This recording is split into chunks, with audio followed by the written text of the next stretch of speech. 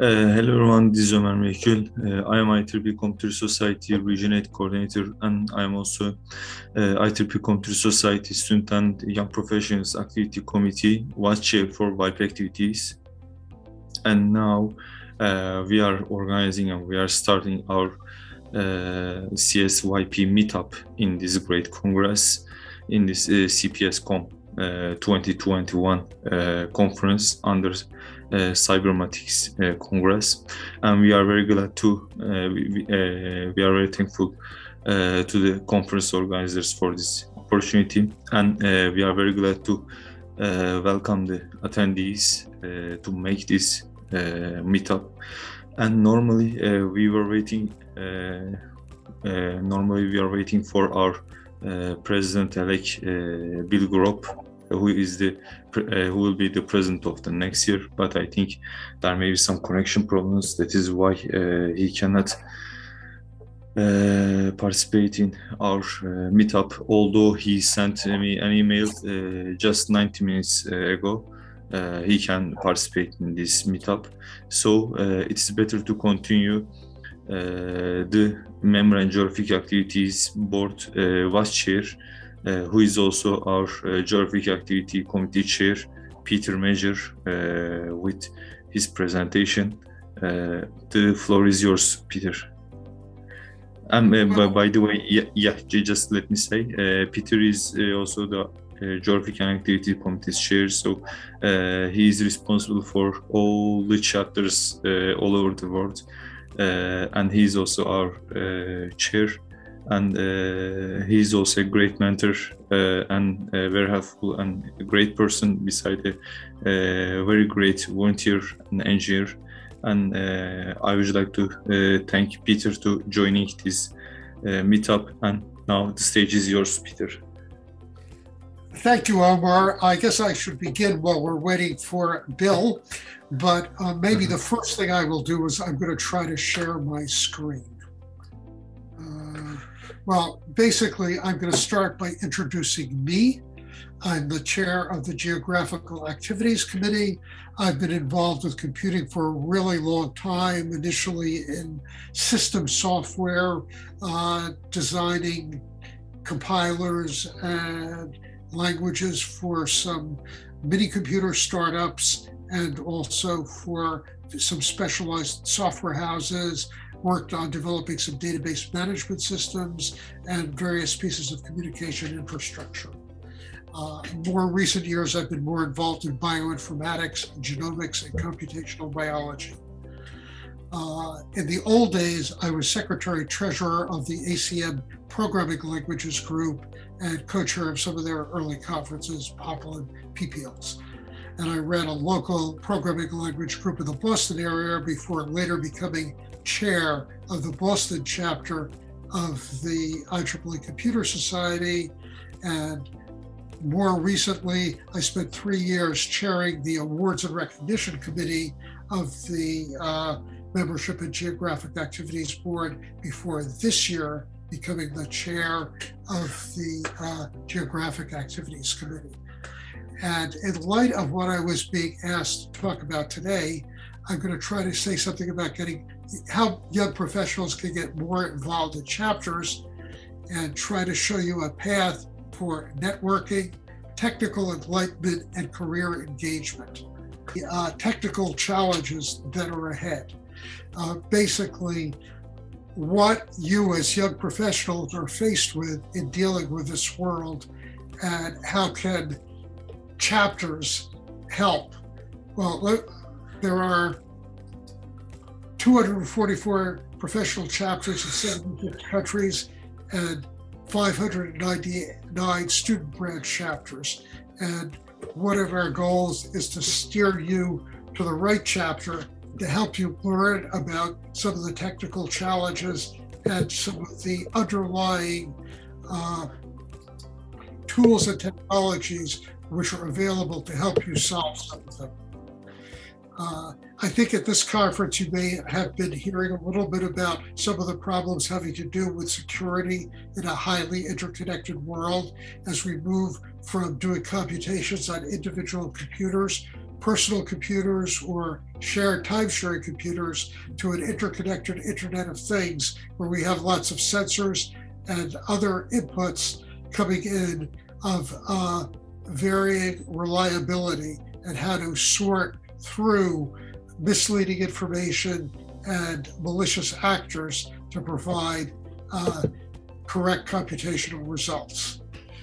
In addition to that, we're dealing with uh, highly interconnected biological world where the faster travel and, and, better connections allow us or allow the spread of uh, dangerous diseases as we're experiencing now, now with the COVID 19 pandemic.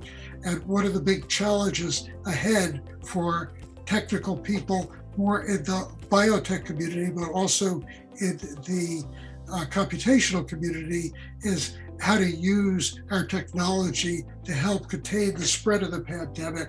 And there's a lot of work going on in things like support for contact tracing to uh, and, and testing to help control and monitor what's going on, and also to help the biologists find which solutions work for which classes of people in terms of various kinds of interventions.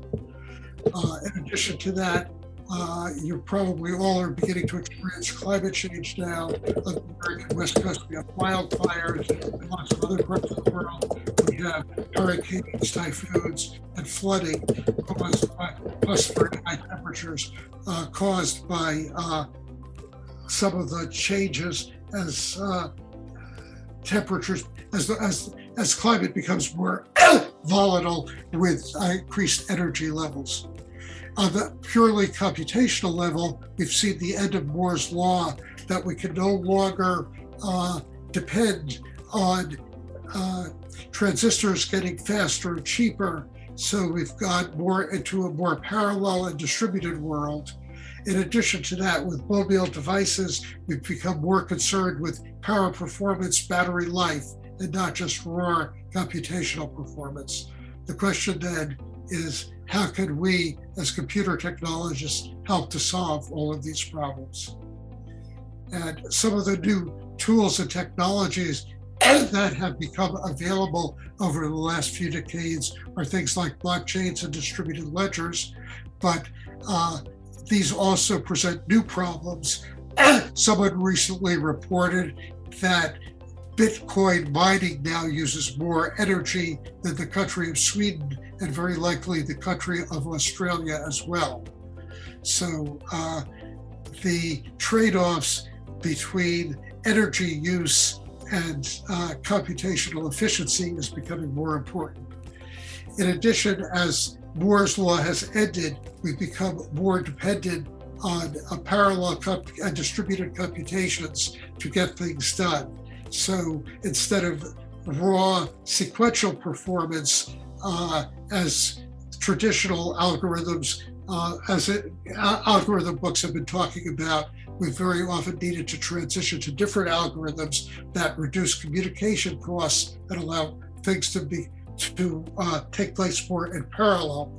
And in addition to that, uh, as we've become come, come into exponential uh, growth in computation time and NP and the limitations of NP completeness, we've often had to resort to stochastic algorithms where we would get a correct answer most of the time or come within some bounds of an answer with high probability rather than trying to uh, produce an exact answer, which takes an extremely long, an unrealistically long time. Uh, in addition to that, we are have new possibilities with quantum, quantum computing and quantum communication. Uh, quantum computing is still mostly a theoretical concept in terms of solving hard problems, but quantum communication uh, at, at at least small distances can guarantee that a message can be delivered exactly once, and uh, you will get some error condition if someone intercepts it. Uh, in addition to that, use as as we get more into robotics and automation and uh, naive users using computer devices more, user interface engineering and uh, computer human interface is becoming much more of an issue. Uh, and one of the places that chapters can play a big role, for example, the Boston chapter will be having a, like, uh, a guest seminar on some aspects of user interface engineering next month. And uh, one of the things I'll be talking about later is how uh, chapters, by sharing information in a virtually interconnected world, can bring you closer to more uh, technology that individual chapters aren't able to give you by themselves. Uh, another uh, important area that's uh, gotten a lot of publicity lately is machine learning and artificial intelligence, and especially as more larger uh, data sets become available, uh, basically try to uh, use matching based on machine learning to get to answers more quickly has become one of the leading areas of both computer research and applications to real world problems. And uh, I, I, I, can talk, talk to you more about that. I, I for example, have been recently using a uh, an app called Picture This, where you can point your iPhone at any plant and it will try to identify it for you. And it's actually quite useful if I go around on a walk and like, find a plant I like that I might want to include in my garden. I can take its picture and get its identification. And I actually used that recently to identify a mushroom in my backyard as a hen of the woods mushrooms that was actually quite edible. Uh, sensors and drones are becoming more important, as you've been hearing in the uh, probably in your uh, conference on uh, the Internet of Things. And that also has two aspects. One, it allows you to monitor what's going on to solve problems like climate change and uh, disaster assistance, but at the same time, you're getting a large onslaught of additional data, and in addition, have the uh, additional issue of reliability of data and imposter data that you have to deal with, uh, possibly with the help of machine learning and artificial intelligence. Uh, in addition to that, there are new areas that I, in particular, have become interested in the last uh, dec decade or so of synthetic computational biology, where people are trying to reprogram life forms using uh, programming technology, not just to program computers, but to reprogram life with the use of CRISPR and other similar technologies. And that leads us back to where GAC, the Geographical Activities Committee, and chapters can play a role in this. I, I think there are four main areas where we can be useful. We can be useful in explaining new technologies with the help of both our distinguished visitor program and centrally organized seminars and lectures, and also by locally organized seminars where chapters can share specific uh, seminars and, uh, and, topics of interest that they often arranged around universities uh, can make available to people outside of their immediate ge geographical area. Uh, chapters can be a really good source of networking, especially for young professionals to get introduced to people with similar interests. You could go there with a technical uh, programming problem uh, that you have of why your Python or Java program doesn't work, and maybe someone else has run into a similar problem. And in addition to uh, using Stack Overflow or querying Dr. Google, you might be able to find people who are running into similar problems who can give you pointers and help. And in addition to that, especially as younger members uh, running into more experienced industry people and academic people at your local chapters gives you an opportunity to get mentoring and advice. And we're hoping to promote that as we get uh, young professionals more involved in chapters. And then an additional area is I'm hoping to see us be able to organize joint efforts to solve some of the big problems or help provide small solutions to pieces of the big problems I mentioned earlier. And there are a lot of competitive competitions like uh, the MIT Solvent pro, uh, problem and various venture capital incubators like Y Combinator in the US and a lot of innovation centers at leading universities that uh, the local chapters can help give you pointers to as one part of their mentoring. And just to take this one step further, a while ago we took a survey of what topics were of interest to chapters, and it turned out that the two things of greatest interest were security and machine learning. And then after that, there were, uh, can you read this? Uh, the current COVID pandemic uh, uh, attracted a lot of interest. The Internet of Things was also one of the five top uh, top priorities.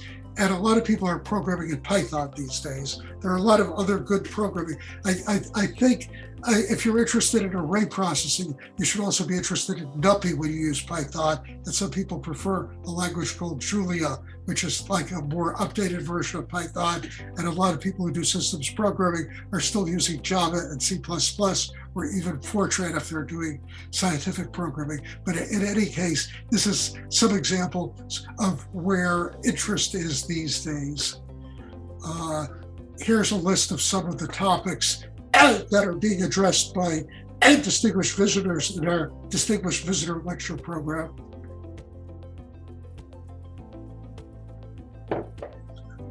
And uh, let's see what we have here.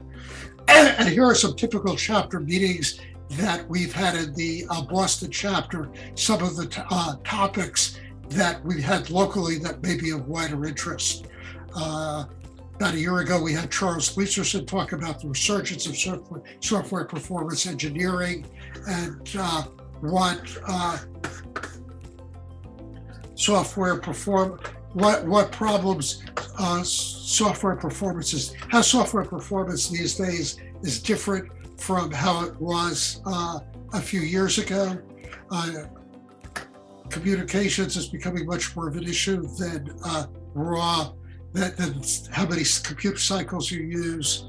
Uh, another recent, uh, we had uh, Leslie Valiant talk a little bit about some issues having to do with uh, machine learning and some of the problems having to do with uh, deciphering uh, what AI problems are really doing when they choose a particular match for or identifying a, a picture or, or, or coming up with a solution. How do you debug machine learning uh, algorithms? And uh, we also had Sandy Pentland talk a little bit about uh,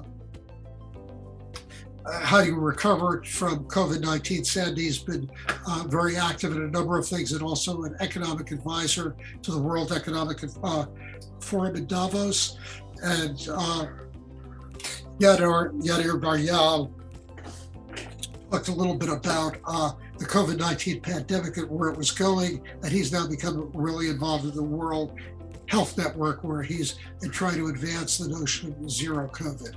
So, uh, chapters can introduce you to a lot of the current thinking and issues, but uh, finally, it all comes back to uh, getting to providing a forum for networking, uh, introducing you to current uh, technical innovations, and giving you an opportunity for career engagement, networking, and mentoring. And uh, as I guess it was Andy Hirsch, uh, I, I guess it was Alan Kay who originally said that the easiest, the best way to predict the future is to participate in inventing it and the time for the future is now.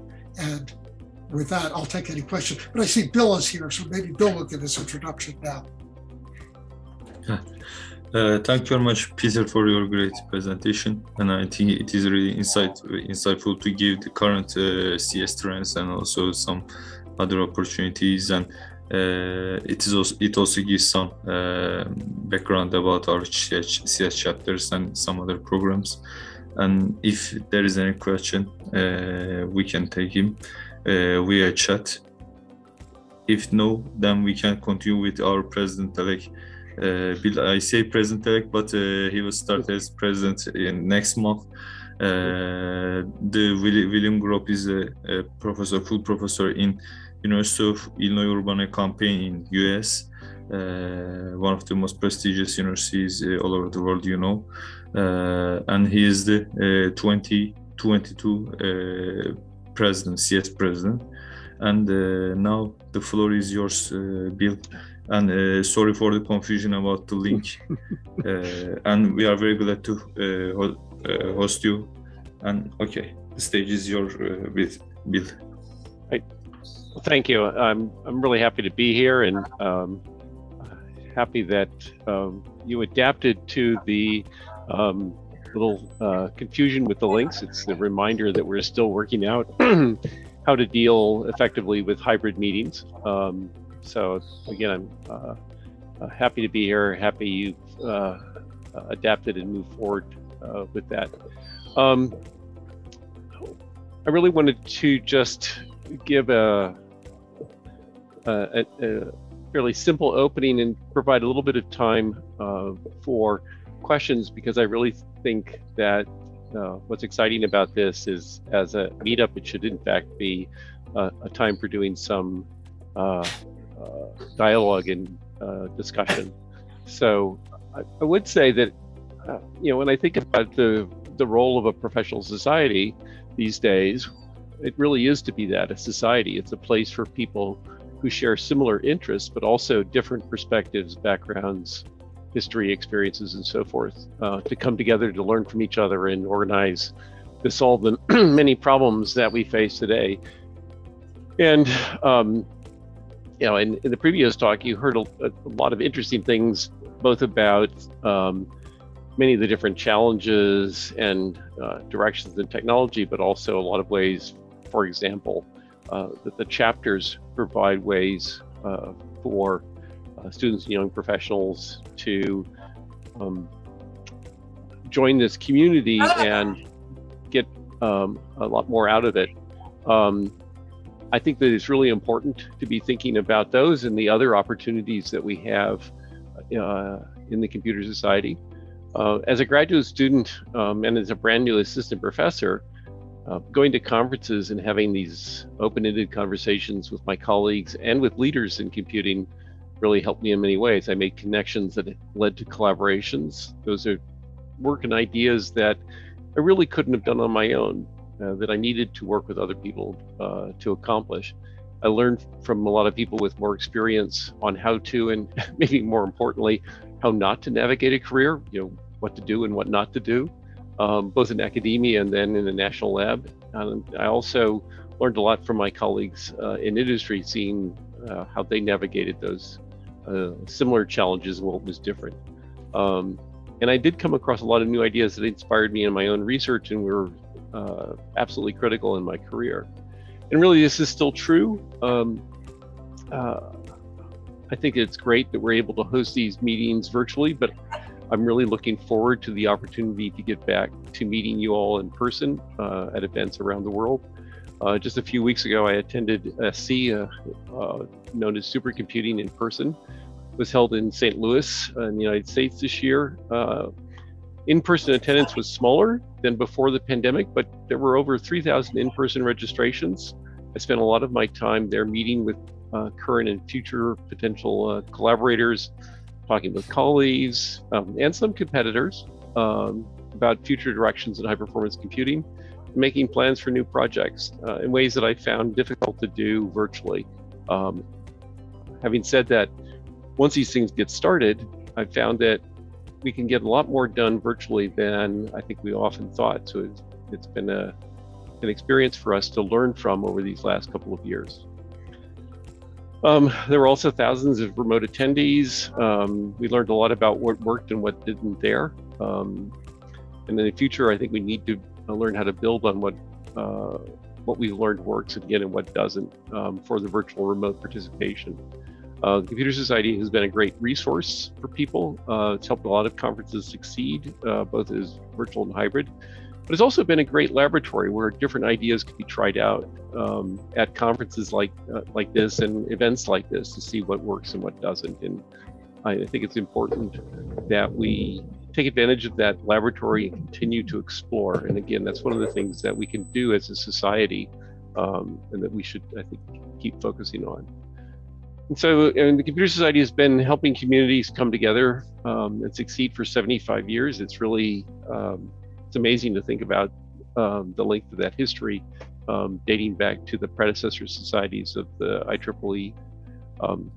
Um, and it's also really remarkable to think about this is the 25th anniversary of the IEEE Young Professionals, um, celebrating the key role uh, that the young professionals have for our future. So I'd really like to encourage all of you um, take advantage um, of the opportunities that you have. Um, we heard a lot about some of the opportunities for um, chapters, but there are lots of op other opportunities uh, that I really encourage you to take advantage of join a technical community, participate in discussions like this, um, encourage your mentors to find opportunities for you to talk with leaders in the field. Um, we had a great example of a number of the distinguished visitors um, that uh, can talk at uh, chapters. Um, take advantage of those, but not only listen to them, but meet with them. Um, most of us don't bite, I like to say. Um, uh, in fact, I find it really uh, stimulating uh, and rewarding to talk with uh, young professionals uh, about the ideas that they have, the challenges that they're facing. So uh, I really encourage you to reach out. Most of us, I, I think, will feel the same way. Um, and this is going to be really critical for us as a field, um, bringing together people with the diverse backgrounds, experiences, expertise viewpoints. Um, we need those to address the opportunities um, and the complexity of our field. And you heard a little bit about that as well. Uh, it's an exciting time to be in computing, partly because a lot is changing. The technologies are changing, the breadth of uh, application, the amount of interdisciplinary is disciplinarity is growing. Um, and so I think uh, taking advantage of that and uh, exploiting it, uh, advancing the field through it is going to require that we all work together and find ways um, to uh, collaborate and grow together. And uh, you know, professional societies are great ways to do that. Chapters are good ways to get started, good ways to continue. Um, but we also have the conferences, of course, publications. I encourage you to you know, reach out, see how you can volunteer, see how you can take one of your passions um, and find other people who share that passion. Um, and so, with that, I'd be happy um, in a few minutes. Uh, I could take a couple of questions if you uh, anybody has one, or I could uh, relate a short story about my own career path. But I, would really like to give people an opportunity to ask a question. However, we manage to do that. Okay. Uh, if you want, then you can ask your question via the chat. Okay. Uh, just let me just let me give a few uh, a few remarks. Uh, okay, uh, we are in COVID era, and uh, it's of course better to make a uh, physical meeting, but sometimes uh, it may be impossible to make such a meeting uh, because of the, some other cost issues, some travel and time issues. For example, uh, now uh, although we are uh, now we are really doing a global meeting, you are connecting from US and I am from the region 8 uh, Turkey, and now uh, we have uh, participants from Denmark, Australia, and Canada. And the virtual meeting gives such an opportunity. Uh, and it also uh, it also affects the uh, registration fees, which is very important. And I remember that when I was registered a conference in 2014 uh, I paid more than 1000 US dollars. But uh, when I registered my paper in another conference I paid less than 100 US dollars this year. SCS conference uh, LCN IEEE LCN 2021 uh, so it may uh, it can really affect um, it can really affect the registration fees some costs. Uh, this may be an opportunity but of course the physical uh, meeting are uh, quite useful, quite beneficial uh, because of some other networking opportunities. Uh, and if you want, you can add some uh, some remarks about some networking opportunity or uh, your vision, your career path.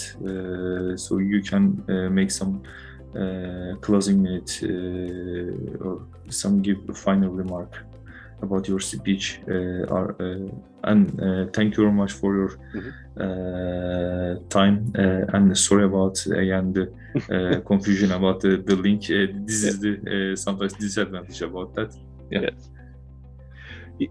Yeah. So let me just say, I think. Um, we're, we're certainly not going to go back the way things were before the pandemic. The, a, a number of the things that you mentioned are uh, something that's very important for for conferences and for community to um, uh, provide greater um, greater access, greater diversity, um, and so I think one of the things that's going to be um, both exciting and challenging over the next couple of years is trying to figure out how we recover the best aspects of in-person meetings, the ability to network, the side conversations, uh, a lot of things that people have been trying to find technological solutions to with, I will say, maybe mixed success.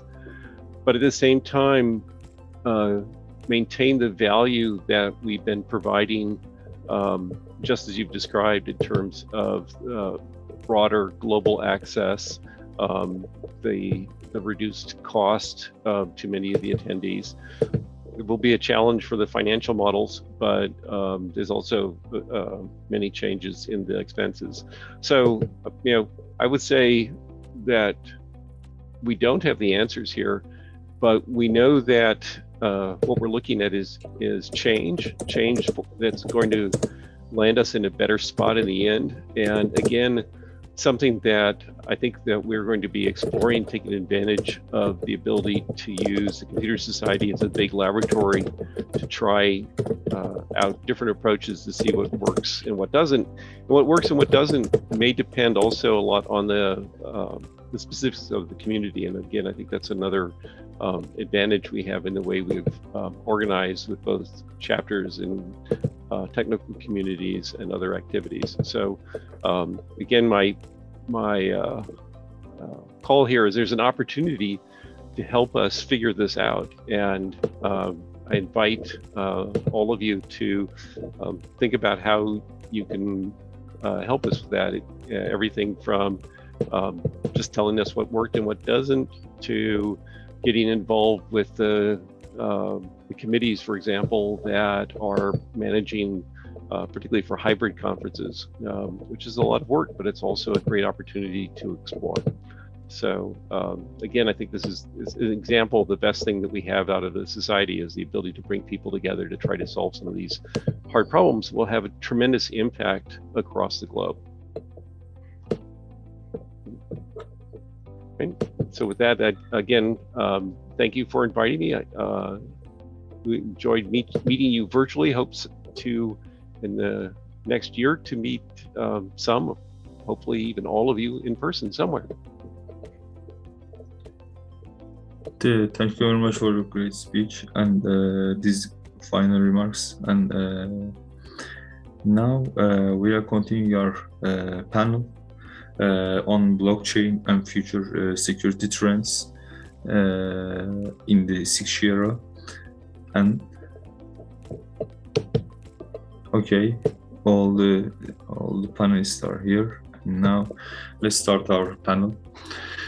Uh, okay now we are uh, just give uh, i'm just looking for a question uh, looking for a question.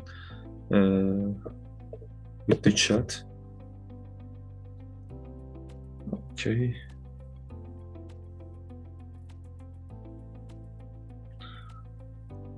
Uh, yes, no question. It seems like that. And uh, okay, let's continue with the panel. And now uh, we will make a panel on future security tra uh, trends in the cyber physical systems and IoT in the 6G era. and we have four panelists uh, from academia and uh, industry. Uh, Professor Salil Kanhere from UNSW Sydney, University of New South Wales, Sydney, Australia, and Burak Kantarci from University of Ottawa, Weizhi Meng from? Denmark Technical University, Denmark, and Nasiruddin from Microsoft US.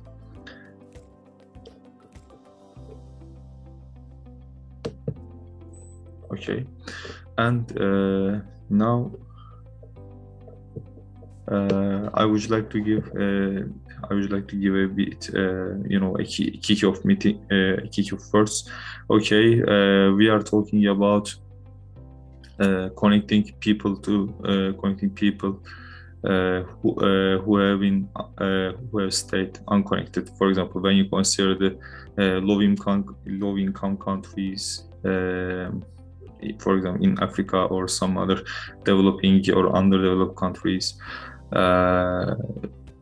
they may have problems of uh, connection, internet connection. So uh, when you consider the CS side, communication side, uh, the researchers look for, look for the solutions to uh, make people more connected. And when you consider the people who are more uh, who have already managed to uh, connect with each other, they still need more connection.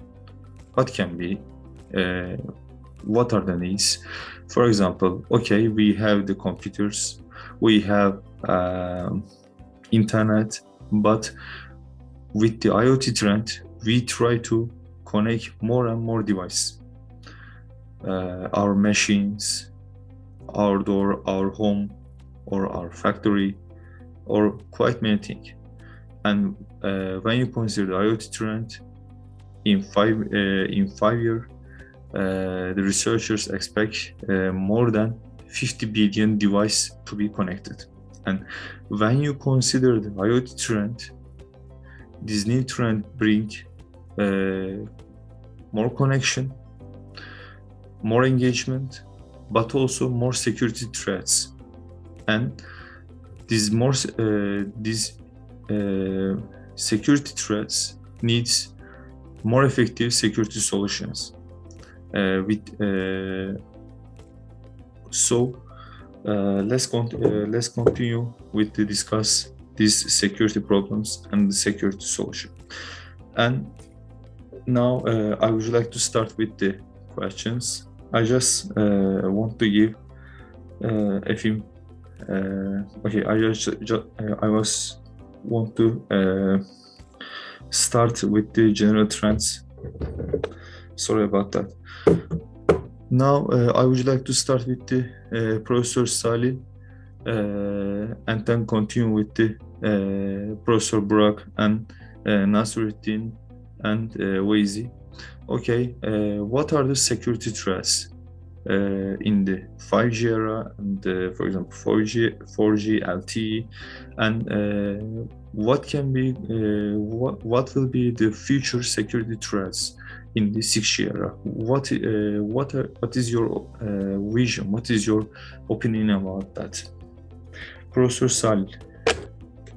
Thanks, um, thanks, Omer. Firstly, for uh, getting us together. Uh, I know it's challenging to do this uh, in this setup, so thanks, uh, and good to see Burak, uh, Weizhi, and Nasser here.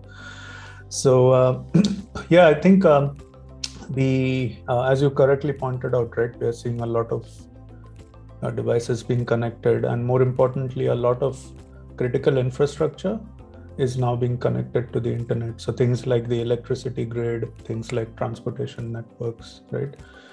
So I think one of the issues which we're already seeing now is uh, if people can hack into some of these IoT devices, given that there are so many, um, the attack vector is enormous, right? So even if you can compromise a very small fraction of these devices, it still gives you exposure to some very critical infrastructure. And there have been um, cases where um, people have uh, managed to hack into the smart grids. For example, there are reports where certain government actors. I won't name specific things here, uh, but uh, there is evidence to suggest that uh, such attacks have been launched, right? And that can be quite critical. I mean, in fact, I remember there was a case earlier this year where someone hacked into some hospital system, and I think that led to a death of an actual person in the hospital, right? So this is just uh, we are sort of realizing that uh, we are in dangerous ter- territory now. Uh, I mean, it's fine to set up uh, lights and blinking things at home, but now we are we need to get really serious about this problem, right? Uh, given that all this uh, critical infrastructure is being connected, so I think as we move towards 6G, and of course, people, the, all the people here on this um, call are probably already looking into it, but given that this is going to just escalate more and more, we have to be very careful about putting things out on the market because a lot of things on the market are uh, using sort of haphazard security solutions. They are not paying, a lot of vendors are not paying proper attention to this. And often there is no way to update some of these hardware, right? So you deploy something and it's very, very difficult to actually send a remote update. And uh, it's not like your computer where you can just download the latest update from microsoft or uh, apple or whatever right? So i think uh, all of this creates uh, lots of issues. And uh, of course for us researchers that's good uh, it gives us problems to solve. But yeah these are serious concerns now. So i may pass on to my other colleagues here to elaborate thanks Okay. Uh, what about uh, okay? What about you, Nasruddin? What do you think about that? Uh, first of all, um, good morning, good afternoon, and good evening. Um, so, based on what uh, um, uh, Salil um, actually said, I'll just elaborate on top of that. Um, so, few of so I've been working on top of that tax, and uh, like so as he said not mentioning the name but um, so there was a report actually yesterday. I wasn't working on that but that's queensland um, in the news. It came that someone probably some uh, national state uh, type of attack happened down there right? And then they've been now talking about how to do the business continuity remediation and isolate um, that and uh, so that impact affected part. So that's one example and we, we will talk about like why that happened and then what we have now and then what's going to be in the future. Um, but it's definitely they were not ready. But now the next thing i would like to discuss hey uh, a few months back we had an attack on us pipeline. Um, and i'm actually right now working with few of uh, the pipeline and energy operators to identify what's actually going on in their environment. So here is a very interesting thing. I said identify, that actually also means that they are not actually sure how that their entire environment is made of. So that also brings uh, Salil's previous uh, point that uh, it is difficult patching and maintenance. It is complicated. There's a lot of legacy system, um, but it also brings the question that because of that previous attack, uh, U.S. Uh, Homeland Security and TSA that introduced all these mandates and uh, everything. But then, if the attack really happens to Queensland after that, are not you prepared? So that's one of the big question and then one of the big current challenge with this critical infrastructure that um, we've been seeing attacks and then if i talk about a stuxnet long time back um, we know what can happen right but it's still the, the system itself is complicated. Adopt, uh, uh, adopting a modern authentication protocol or communication uh, that is complicated. Insecure communication, I'll just say, like, and then lack of device to device authentication, which right now we are struggling. I mean, uh, Microsoft has a lot of solution, but just to put all this solution because the solution aims for modern uh, systems, but those end state PLCs and RTUs or all these other systems they are using is too old to adopt that. That's another problem. And then finally, um, I would say that attacks happening, but going for a modernized solution because we have a lot of publication from NIST. Um, but adopting those and going to that actual solution that's where like the actual challenge belongs. And the tsa here from a us perspective they have to maintain a, a mandate and put direct uh, uh, directives to those energy sector operators that you actually do this. Like first mandate was three and then they're saying do more.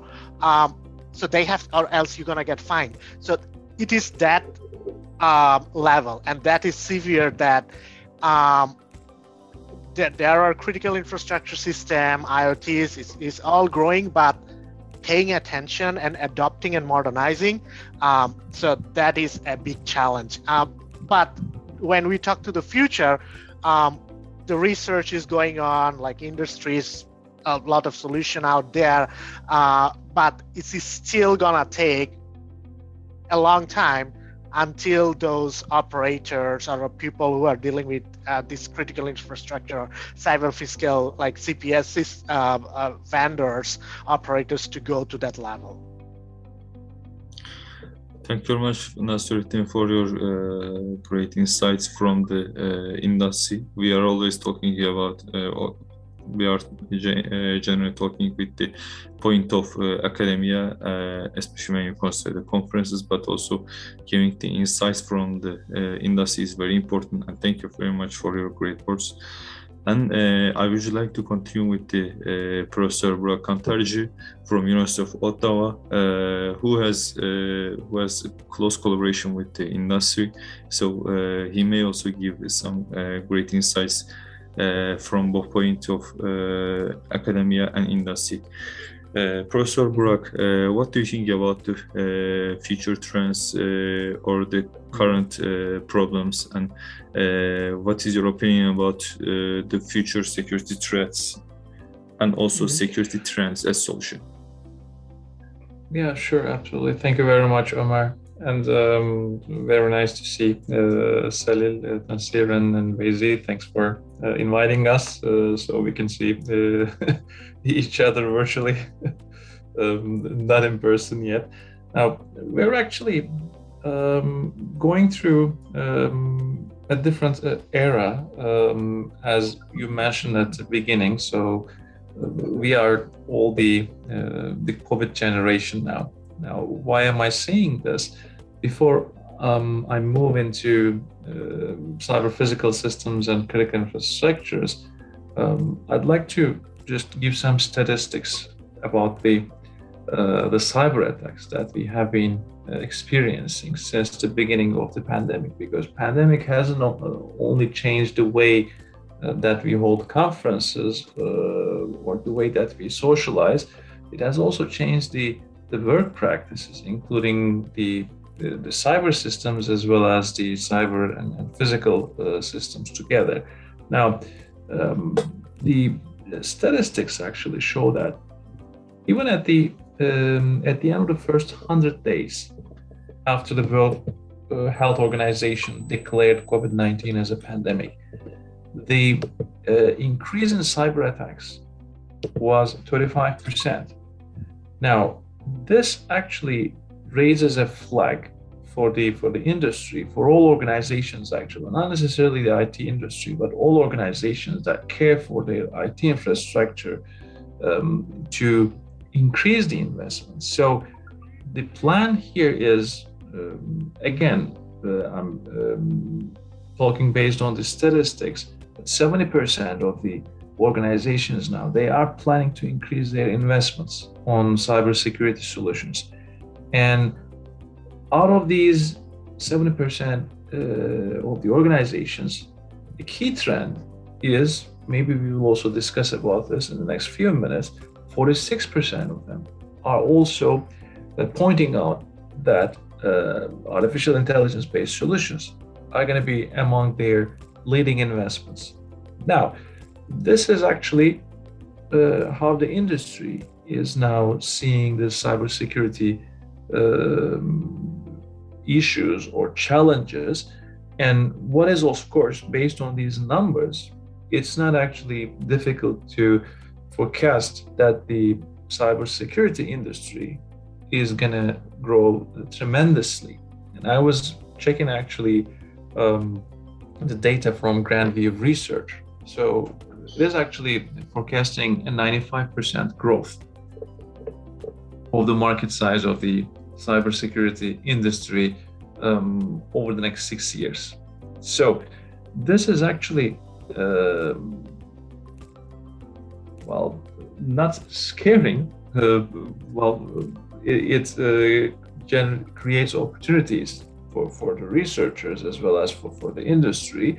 But at the same time, uh, it also raises uh, a flag and it should raise awareness uh, for protecting the critical infrastructures. And when, when I say critical infrastructures, maybe I'll, I'll, uh, I'll take it from where um, Nasir um, pointed out the uh, critical infrastructures, uh, very well uh, said uh, speech, uh, point, very well made point.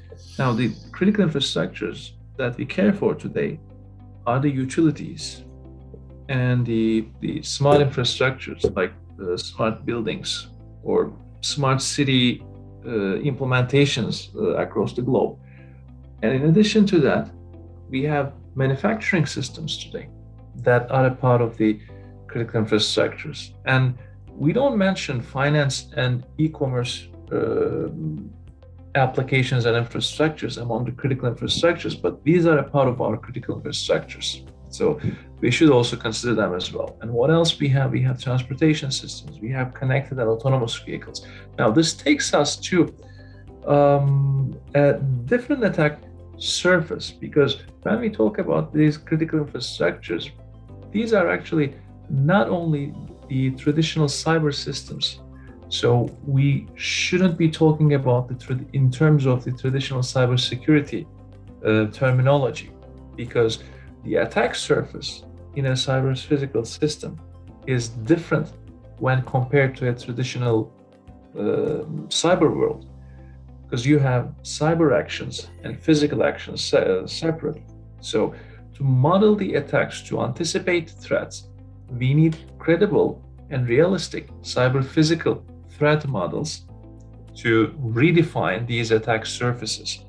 And as you also mentioned at the beginning, now we are moving towards the beyond 5G era. As I always mention, I stick with this um, Homeland Security and also NSA, CISA uh, definitions for the threat vectors in, in, for the 5G.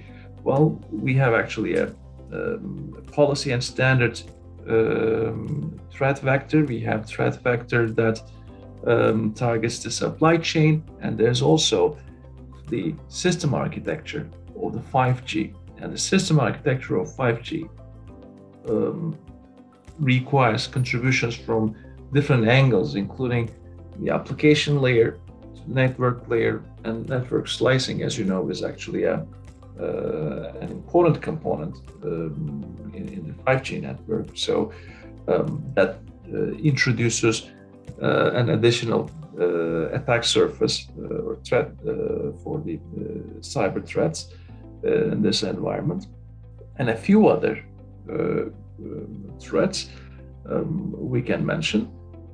And on top of this, last but not least, we are not trashing our legacy communication uh, infrastructure when we move towards beyond 5G or 6G, let's name it uh, properly. Uh, we are not trashing the legacy communication infrastructure. So it's not like, you know, bring your old TV and uh, get a new one. No, that legacy uh, infrastructure is going to be there. So we are inheriting the existing vulnerabilities of those legacy communication infrastructures there. So the solutions should be holistic. That should consider the cyber and physical attack surfaces. At the same time, they should be um, aware of, they should be also addressing the, the vulnerabilities of the existing or legacy communication infrastructure as we are moving towards uh, beyond 5G era. Maybe I should stop here. And, uh, okay. Yeah, no, okay. Yeah. yeah. Uh, okay. Thank you very much for uh, giving the great insights with the 5G and the 6G era and the communication part. and I I also would like to learn uh, the tools of Weizhi. Uh, Weizhi, would you like to uh, add some more points about uh, the future security threats? Okay, so first, uh, thanks Omar for organizing the the panel, right? Because um, I, I know it's not that easy. And uh, very glad to see uh, the panelists, uh, Sally, uh, and uh, Greg here. So actually, good morning from Copenhagen. It's very early here.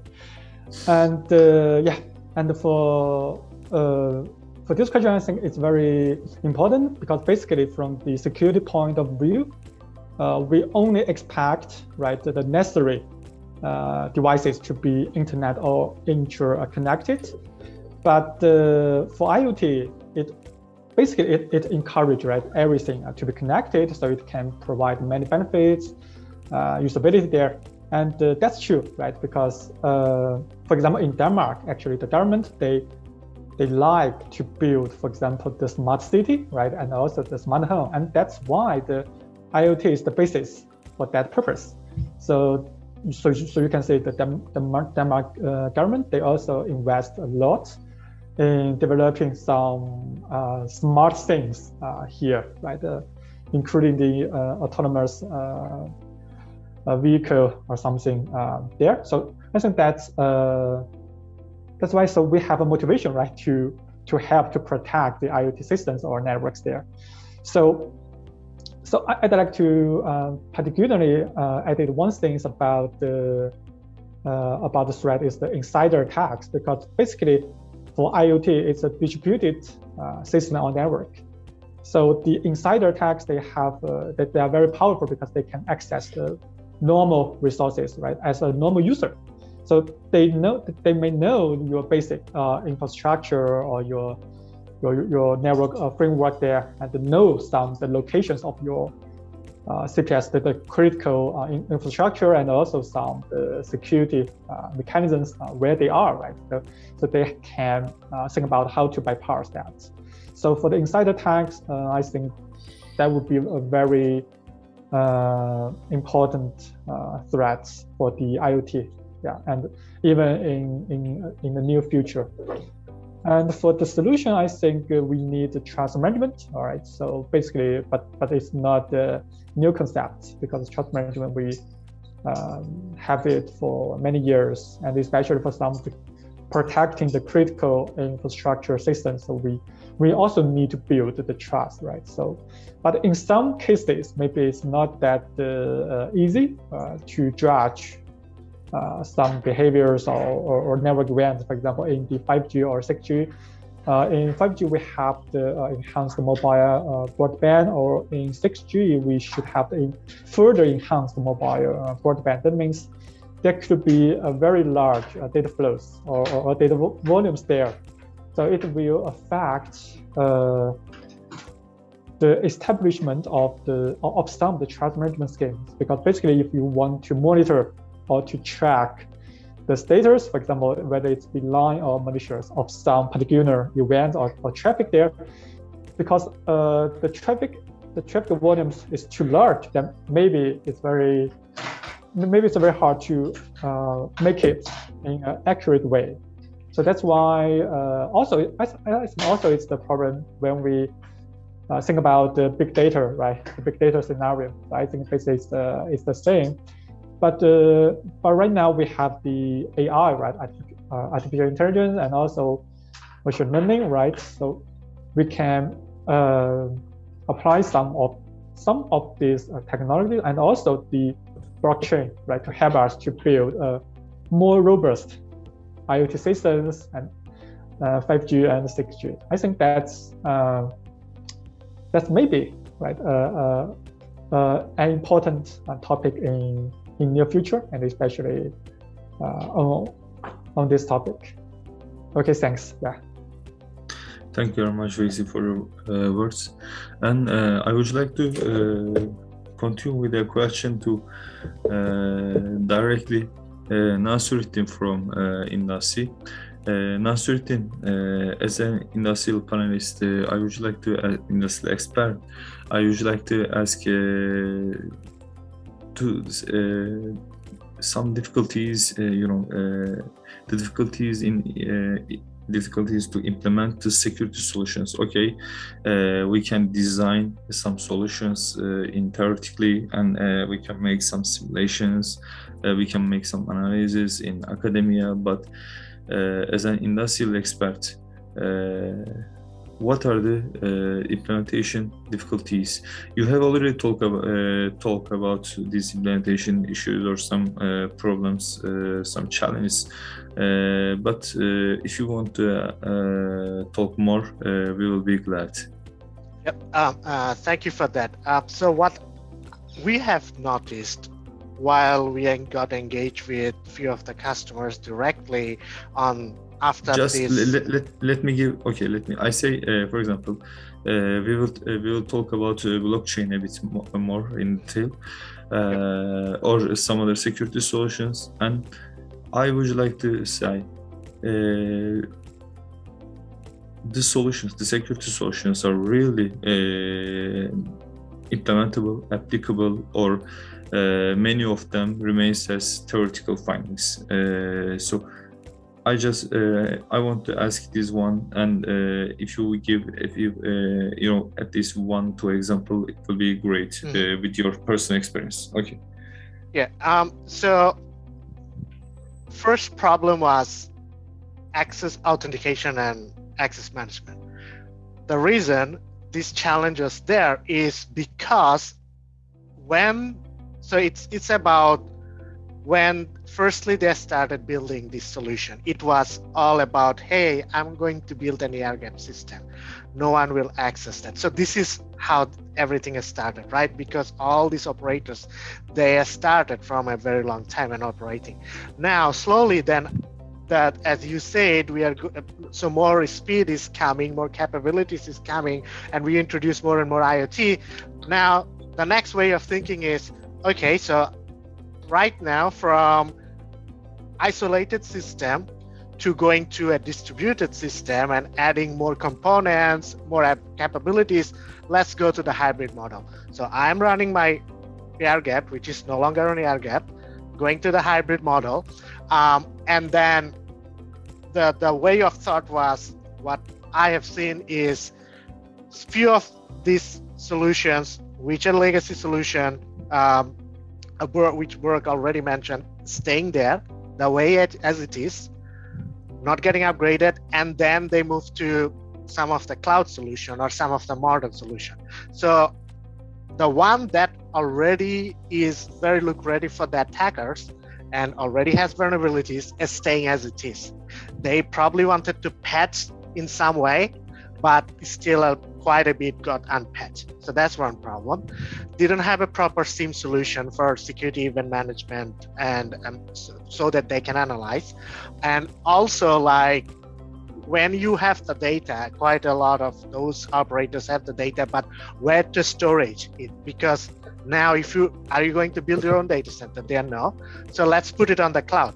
Then it's also about adopting like the hybrid situation, how to protect those so data leakage can happen uh, or happen in some cases and then about implementing a network proper network forensic tool um, um, and then like an AI based or at least some sort of behavioral analytics on how to analyze what's the attacks are coming. So those are lacking. And so, and then based on, so most of the attacks were coming from either like the network gateway level whether you're maintaining your DMZ properly, um, who is getting authenticated. And I've seen very bad cases where is um, they are not even audit. I mean, it's bad, but apparently I've seen it that it's not audited. That and then multi-factor authentication wasn't there. Um, and then proper IDS, IPS wasn't there. Uh, so with all these, still staying there, and so this is what we have seen personally. Um, so that is actually causing the main issue in the industry. Uh, so it's not about the proper guidelines. So guidelines there, maybe solutions there is about have we implemented the solution or whoever is running all this infrastructure, um, they didn't have like a proper plan or proper point of control person. So that's very important. And then that's one of the mandate from TSA that you have a dedicated person and dedicated 24 by 7 monitoring of what's going on.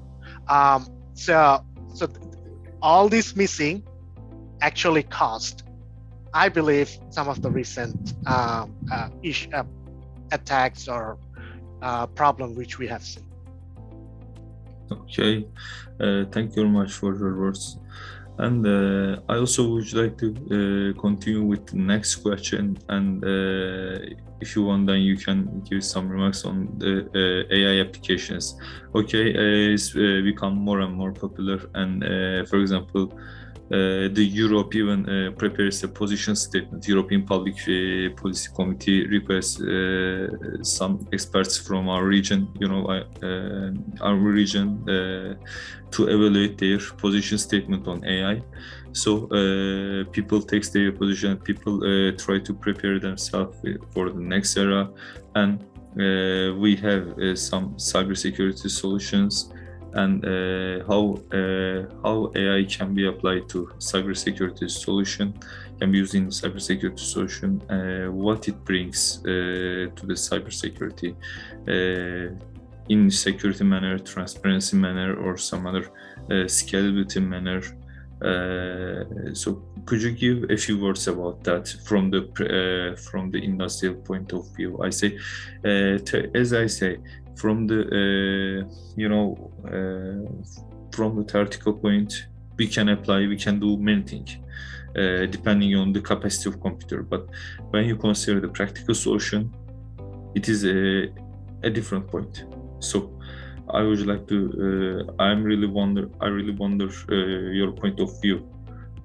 Yeah from industry perspective i'll i'll, I'll tell you about like so other companies like big ones doing it but microsoft invested a lot to be especially on the cybersecurity market. Um, there is a dedicated machine learning group not only dedicated machine learning and ai group but we have like a threat intelligence and analysis group. So mm-hmm and that the main core of the situa- uh, solution which Microsoft is offering is based on uh, adaptive access control, which Microsoft says conditional access. So it analyzes your behavior, your location, uh, so your device, so everything, all the components, and based on that, it does a prediction. So that's the first base of zero trust, which Microsoft actually enhanced on top. I mean, it's from Google and Microsoft already then enhanced it.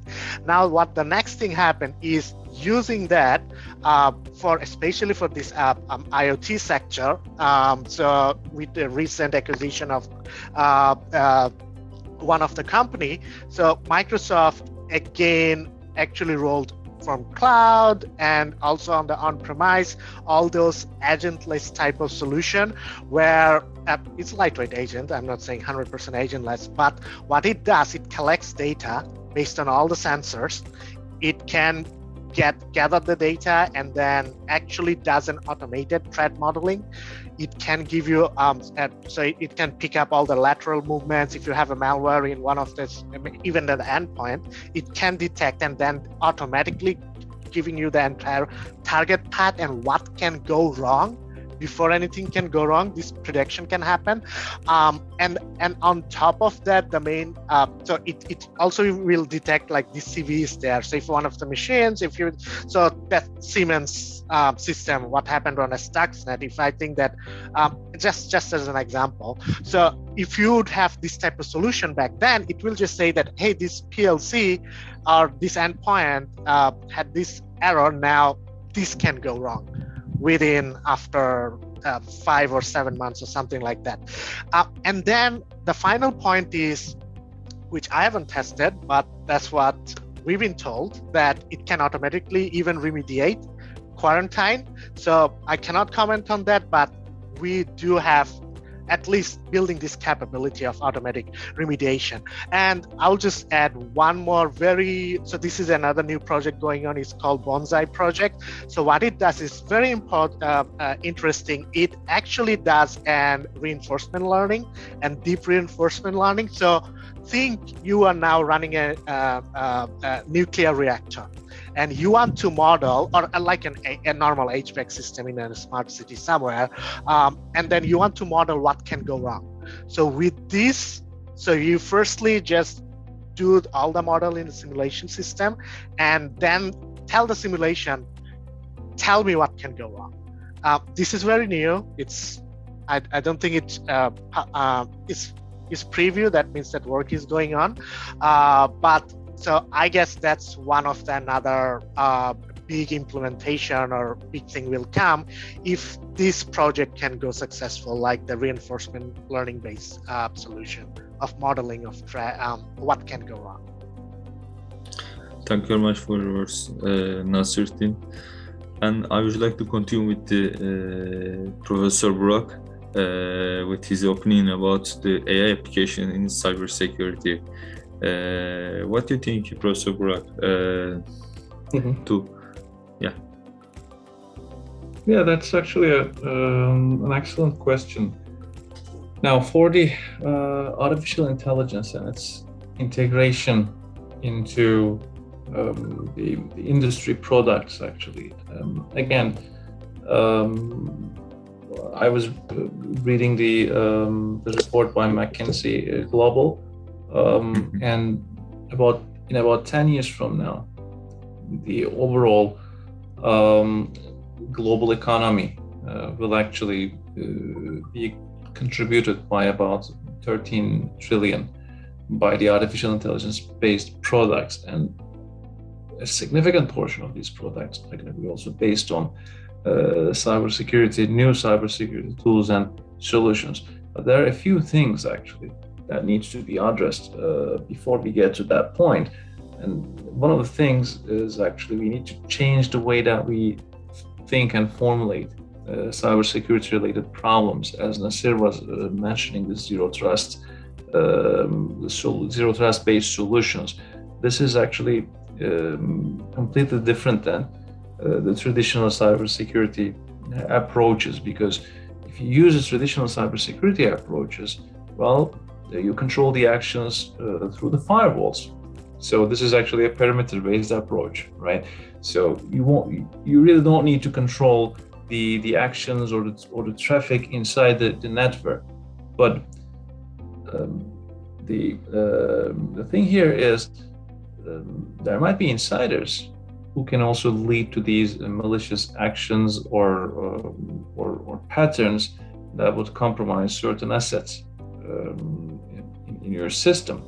Now, um, what we know today is because that actually paved the way towards this idea, more than 40% of the um, of the companies now they have um, their employees that work remotely, and 67% of the employees. That's again based on the same statistics. Uh, I'm now talking about than 67 of the of the workers they bring their own devices to work. So that also introduces new um, attack surfaces new vulnerabilities to the system. So almost two-thirds of the employees uh, plug in their own devices into your system every day right? And uh, the organizations that we know that use cloud-based applications uh, um, use those applications 50% of the time which also in, uh, introduces an additional um, attack surface. Now, um, it is actually uh, now possible to assume that uh, a significant amount of the uh, breaches are going to be originating uh, from inside the network. Now, how artificial intelligence can help us um, detect this is well, um, definitely uh, using artificial intelligence based uh, tools and methods, more specifically, let's, let's say machine learning based methods, will help us detect these uh, intrusive patterns or even predict these patterns, uh, these intrusive patterns, even before the attack um, has been launched. So we can certainly do that. But the main challenge and the main concern uh, for the industry, as far as I can hear, at least from my collaborators, is the explainability component in the artificial intelligence based uh, methods. Because um, when you present, when you uh, train your model based on a certain uh, data set and you test it on um, certain attack patterns, you can claim that, well, this is going to give you, let's say, 99% accuracy. Let's forget about uh, accuracy. Let's say, let's talk about F1 scores, right, which is a more reliable score to assess the performance. This is going to give me 99% F1 score. All right. The first question is whether or not your model is going to generalize to another data set. Well, you can still show your data set is going to generalize your solution, your model is going to generalize to another data set. But next question is going to be, can you explain this model? Is your model explainable? So white boxing the, the machine learning based solutions in the cybersecurity uh, models or cybersecurity solutions will be key to rolling these solutions onto products at the industry uh, for, uh, on the industry's end. So uh, generalizability and explainability are key to uh, these solutions being adopted by the industry. Thank you very much for your great words. Uh, you talk about uh, zero, zero trust, and uh, I may miss a point about that. Uh, you, you say we need uh, more zero trust solutions, uh, and AI help us to achieve those solutions, right? AI may help us, of course, achieve those mm-hmm. solutions. So. Um, basically um, how AI can help us uh, or improve those solutions. I, I don't mm-hmm. want to say yeah, improve. AI is actually complementary. So it can mm-hmm. help us improve those solutions, just like um, context awareness, for instance, integrating context awareness into the uh, zero trust solutions, for example. Um, so it's, it's just one example. Okay.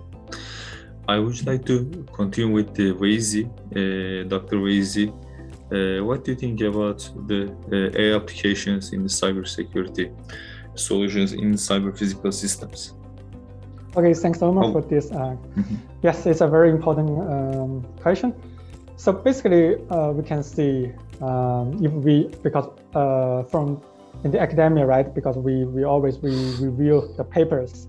I can say uh, at least half of the current submissions are relevant to the AI or machine learning, right? So mm-hmm. when we try to develop some of the security solutions, or even we try to develop an attack, we think about uh, artificial intelligence or the machine learning, right? We always try to uh, automate attack and uh, use the AI or machine learning to help us to establish a solution, a security solution there.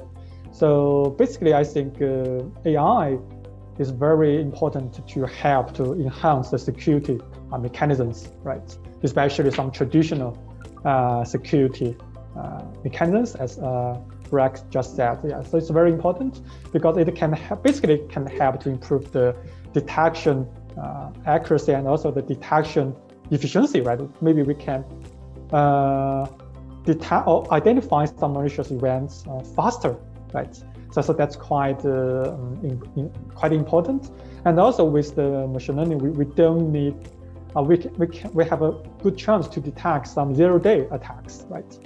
And we can combine it with this uh, the signature-based detections. Basically, we can provide uh, uh, we believe right uh, and a good protection, right, for the um, assets, right, or the systems. But I think the the main problem is that who can who we can trust when the AI or the machine learning fail, right? So that means uh, we can we can not only rely on the uh, AI or machine learning to build a secure uh, system, right? Or, or to only based on based on this to build a very good uh, solution. So we need to, of course, we maybe we need to think about some some other plus or alternatives, right, to also to back up the AI uh, solutions. Because we also need to consider some, there could be some errors, right? Because uh, my main research area is also the intrusive detection. So when we try to have enhanced the performance of anomaly detection, right? Because normally we, we throw out many the machine learning uh, algorithms there. So we try to uh, automatically detect some attacks and also some uh, we call the new attacks there, right? So, but it's it's not that easy uh, to build an accurate model in practice, right? Because basically we know for many machine learning algorithms we need uh, a large number of the labeled data to train the AI system or the machine learning system, right? So, uh, but in some cases, uh, it's very hard or difficult to get some, for example, the negative uh, instances, especially the, the attack samples to help us to train the AI system. Uh, I think that that's still a problem in uh, in the near in the near future or some some years later because we we still need to think about how we can build an accurate the AI model, right?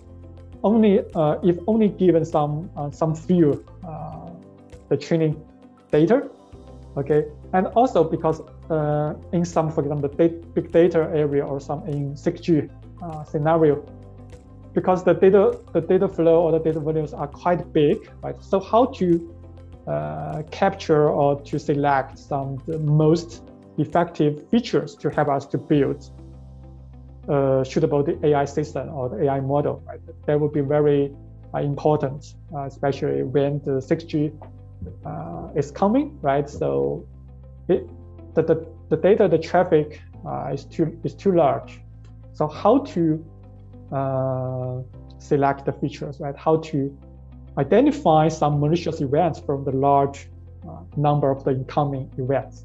That would be a very uh, important. I think that that's a very important uh, question, and also it's uh, it should be a very interesting uh, topic for for us like the researchers to investigate. Yeah, thanks. That that's basically my. Uh. Thanks for your words, uh, Dr. Weizhi. And I would like to continue with Professor Salil.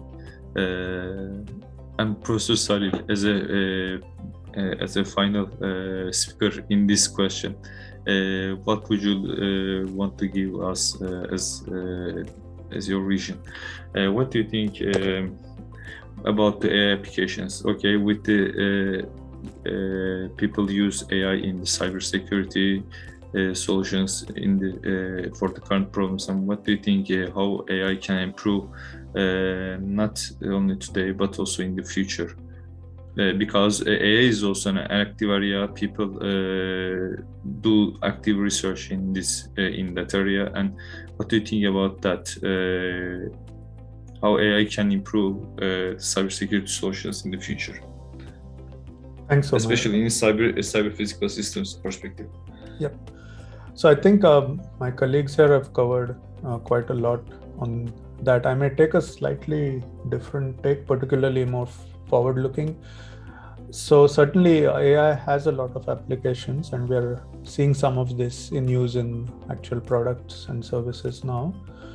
But uh, there's uh, it's always like uh, we say it's a cat and mouse game right? So now given that we are relying on ai models people have started finding vulnerabilities in those ai models right so it, it is now not difficult to actually attack AI models. There's lots of research, particularly which has uh, which has got quite um, numerous uh, citations on how you can fool, say, an autonomous vehicle right into the. There was some experiments where they showed you could put some sticky tapes on the speed limit signs and uh, fool the AI model to detect a stop sign as a speeding speed limit sign, right? and that way a car would be fooled into driving through a stoplight um, stop sign essentially so i think that is uh, also rather concerning and something that we need to uh, be aware of and design ai solutions that are more robust so there's this whole area of adversarial attacks which is quite popular in the vision domain but uh, the same concepts apply when you consider cybersecurity right if you're using similar models, then those models can also be attacked by hackers. So I think as we move forward, we have to be aware of that and try to design robust ML models. So it's not just sufficient to take ML models and use them, but also be aware of that of the fact that they could be vulnerable. Uh, thank you very much for your words about AI. And I usually also uh, ask uh, blockchain. We have talked the security uh, and the AI applications and the industry perspective. And uh, the blockchain is a ri- rising uh, paradigm. As you know, we have uh, blockchain conference under this Cybermatics Congress and uh, I know that uh, you have many works in the blockchain. And what do you think? Uh, what think about the future of blockchain? Uh, blockchain started with the Bitcoin, and uh, before this session, people uh, still talk Bitcoin, which, which can be considered as the blockchain 1.0 and then people consider ethereum as blockchain 2.0 and then people consider the hyperledger hyperledger as the blockchain 3.0 and people say that okay uh, hyperledger goes to the uh, is will become a candidate of future internet. And uh, what do you think about the blockchain?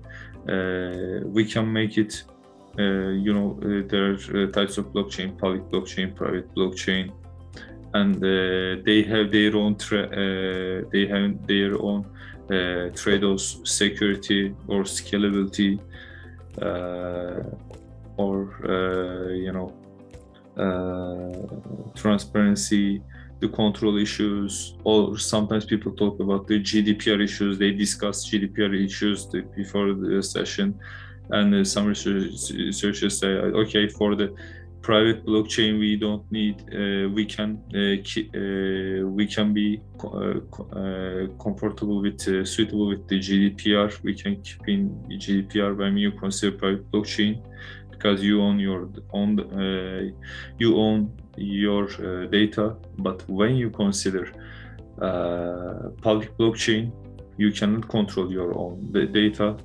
fully so you cannot guarantee uh, too com- compatible with the GDPR. So blockchain uh, brings some new opportunities, but also uh, brings some new challenges, and also the synchronization issue, as I remember, as I see, uh, because they they should also work as uh, synchronized way, and also when you consider uh, NIST National Institute uh, ISO standards. I cannot remember the exact uh, exact name, but uh, the NIST uh, already launched a report uh, when we need blockchain. So it is uh, some people see blockchain as hype, but do does the blockchain has a great potential? I say a great future. What do you think?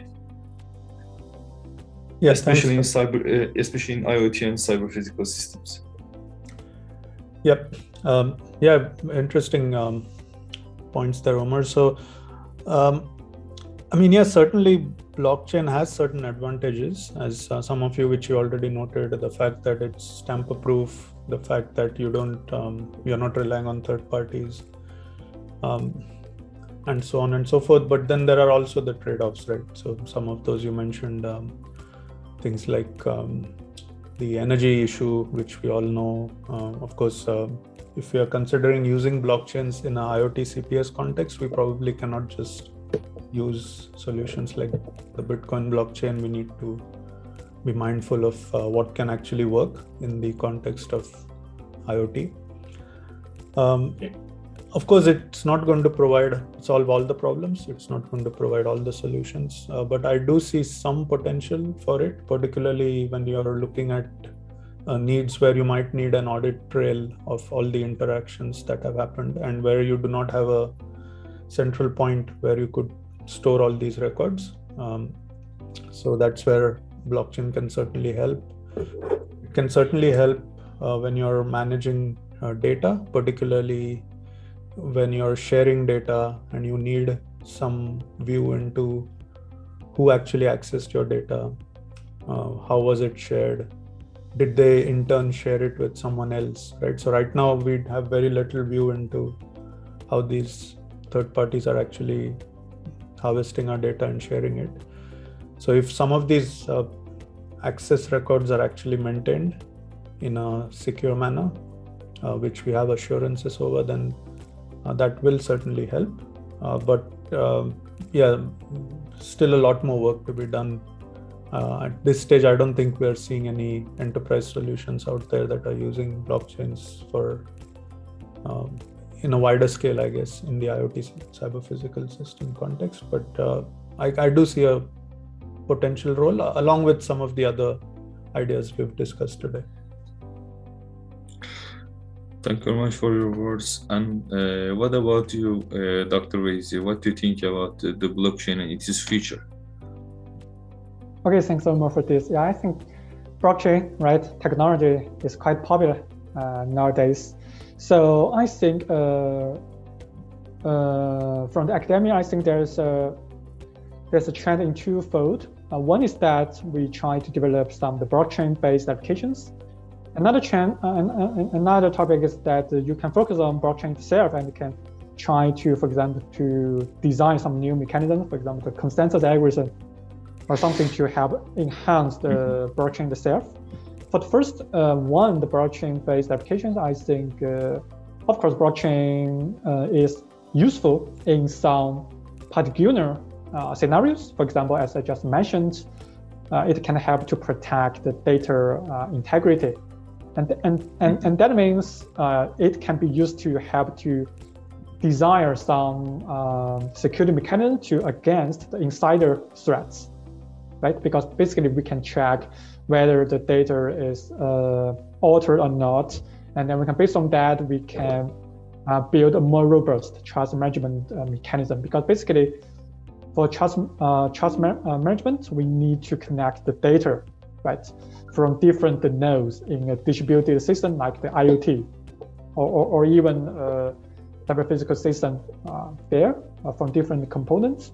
So we first we need to ensure that the received data, right, uh, is the is the real data, right, without uh, any uh, manipulation or modification there. So based on that, we can build a more robust trust management uh, scheme for that. So here, I think the blockchain uh, is quite useful in that sense. But because nowadays we can see there uh, too many uh, blockchain papers. But sometimes, especially for some questions, we before we uh, go into the research, we need to think about whether we need blockchain. Because basically, for most cases, we just use the blockchain as the distributed uh, data, uh, database, right? For that. So that means we, we need to uh, consider whether we need the blockchain in when we try to design some blockchain-based applications. So I think one good motivational solution is that we can to do some survey or to contact the industry, like the local industry or some uh, some uh, external partners, right, to uh, to learn whether there is a requirement, right, uh, or whether there's a need. So we we need to really uh, design a blockchain solution uh, for that. If yes, then of course you can you can go right in that direction. Otherwise, maybe you need to think about that whether we can uh, we can really apply the blockchain. Well, on the other side, of course, if we only focus on the blockchain itself, of course, we can develop uh, or we can try to improve the current uh, consensus algorithm, right, for the blockchain because the scalability uh, is still a major issue for the current blockchain technology. For most, for most blockchain applications or or, or, some other similar applications. So normally when there when the network uh, becomes large, right, or in a large scale system, so normally the current the the, the performance or and the speed of the current blockchain uh, systems, right, will will uh, go down. So that's the main issue. So of course, uh, I think that's a very important topic. So to how to improve the existing the blockchain uh, blockchain technology, right? Especially the the algorithm also try to make a balance right between the some the consumption, for example, the energy consumption and also the the permits. Yeah, thanks. Yeah, that's my. Thank you very much, Weizhi, for your words. Uh, in fact, uh, you are uh, you pointing out uh, uh, whether we need blockchain or not and uh, that is an important point. and sometimes you know the people's need uh, can be just using a distributed ledger without trust for example you consider whatsapp you know the whatsapp even the whatsapp may be enough for the as a solution because people sometimes need just the communication because all the people trust each other but we use blockchain when we need trust. Uh, so if you uh, if you collaborate with the untrusted parties, then you need the blockchain. And of course, it, it, is a bit complicated issue. And now I would like to continue with uh, Pro, uh, Professor Kantarci. Uh, who who has uh, great works, especially in the vehicular area, vehicular communication, vehicular network, and also has the point of uh, we, AI and blockchain. And I would like to ask the future of blockchain in the security solutions, in cyber physical systems, and especially in the uh, vehicular networks. Now, uh, let's uh, move on a bit vehicular networks. Yeah. Professor mm-hmm. Burak. Sure, thank you very much, uh. Well, to start with uh, the uh, blockchain and uh, and follow up uh, with the discussions regarding uh, the the blockchains, use of blockchains in in securing cyber physical systems. Well, of course, blockchains are appealing because of their decentralized nature, and it is possible to um, empower uh, blockchains to ensure um, like the privacy of uh, certain participants and to uh, to ensure to pursue uh, secure transactions. So this is um, definitely uh, all possible, and the system can also be protected. I'm talking about a cyber physical system. It can also be uh, protected against any, um, for example, like Sybil like attacks, for instance, at the proof of work stage, this is uh, quite uh, doable and that can be eliminated. But beyond that, um, my vision for uh, empowering blockchains and integrating blockchains with the next generation networks that includes also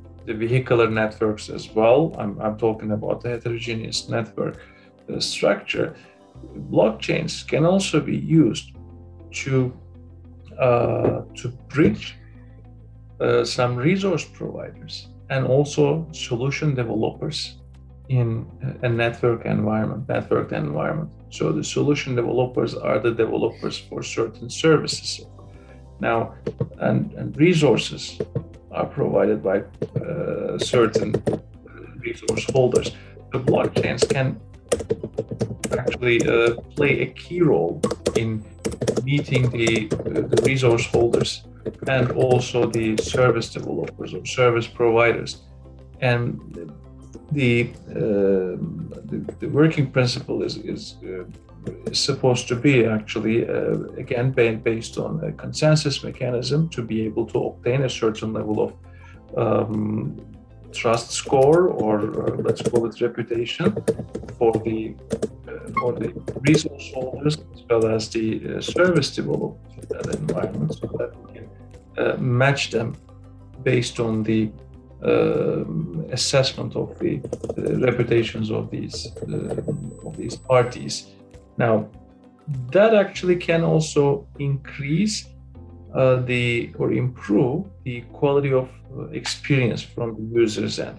Now, this is on one end how we can use blockchains in a heterogeneous environment as we move towards the next generation uh, networks and uh, vehicular networks can also benefit from blockchains as well but on the other hand in a vehicular environment what we also need and what for example uh, my team is uh, currently uh, aiming to achieve in collaboration with our industry partners is security by design.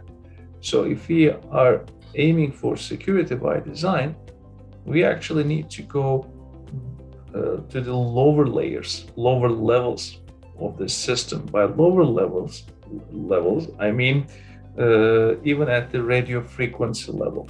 So we should be able to empower, again, going back to artificial intelligence based models, uh, we should be able to use artificial intelligence based models to be able to recognize recognize um, certain uh, transmitter types and certain transmitters in that environment. So that's what we call the fingerprinting solutions.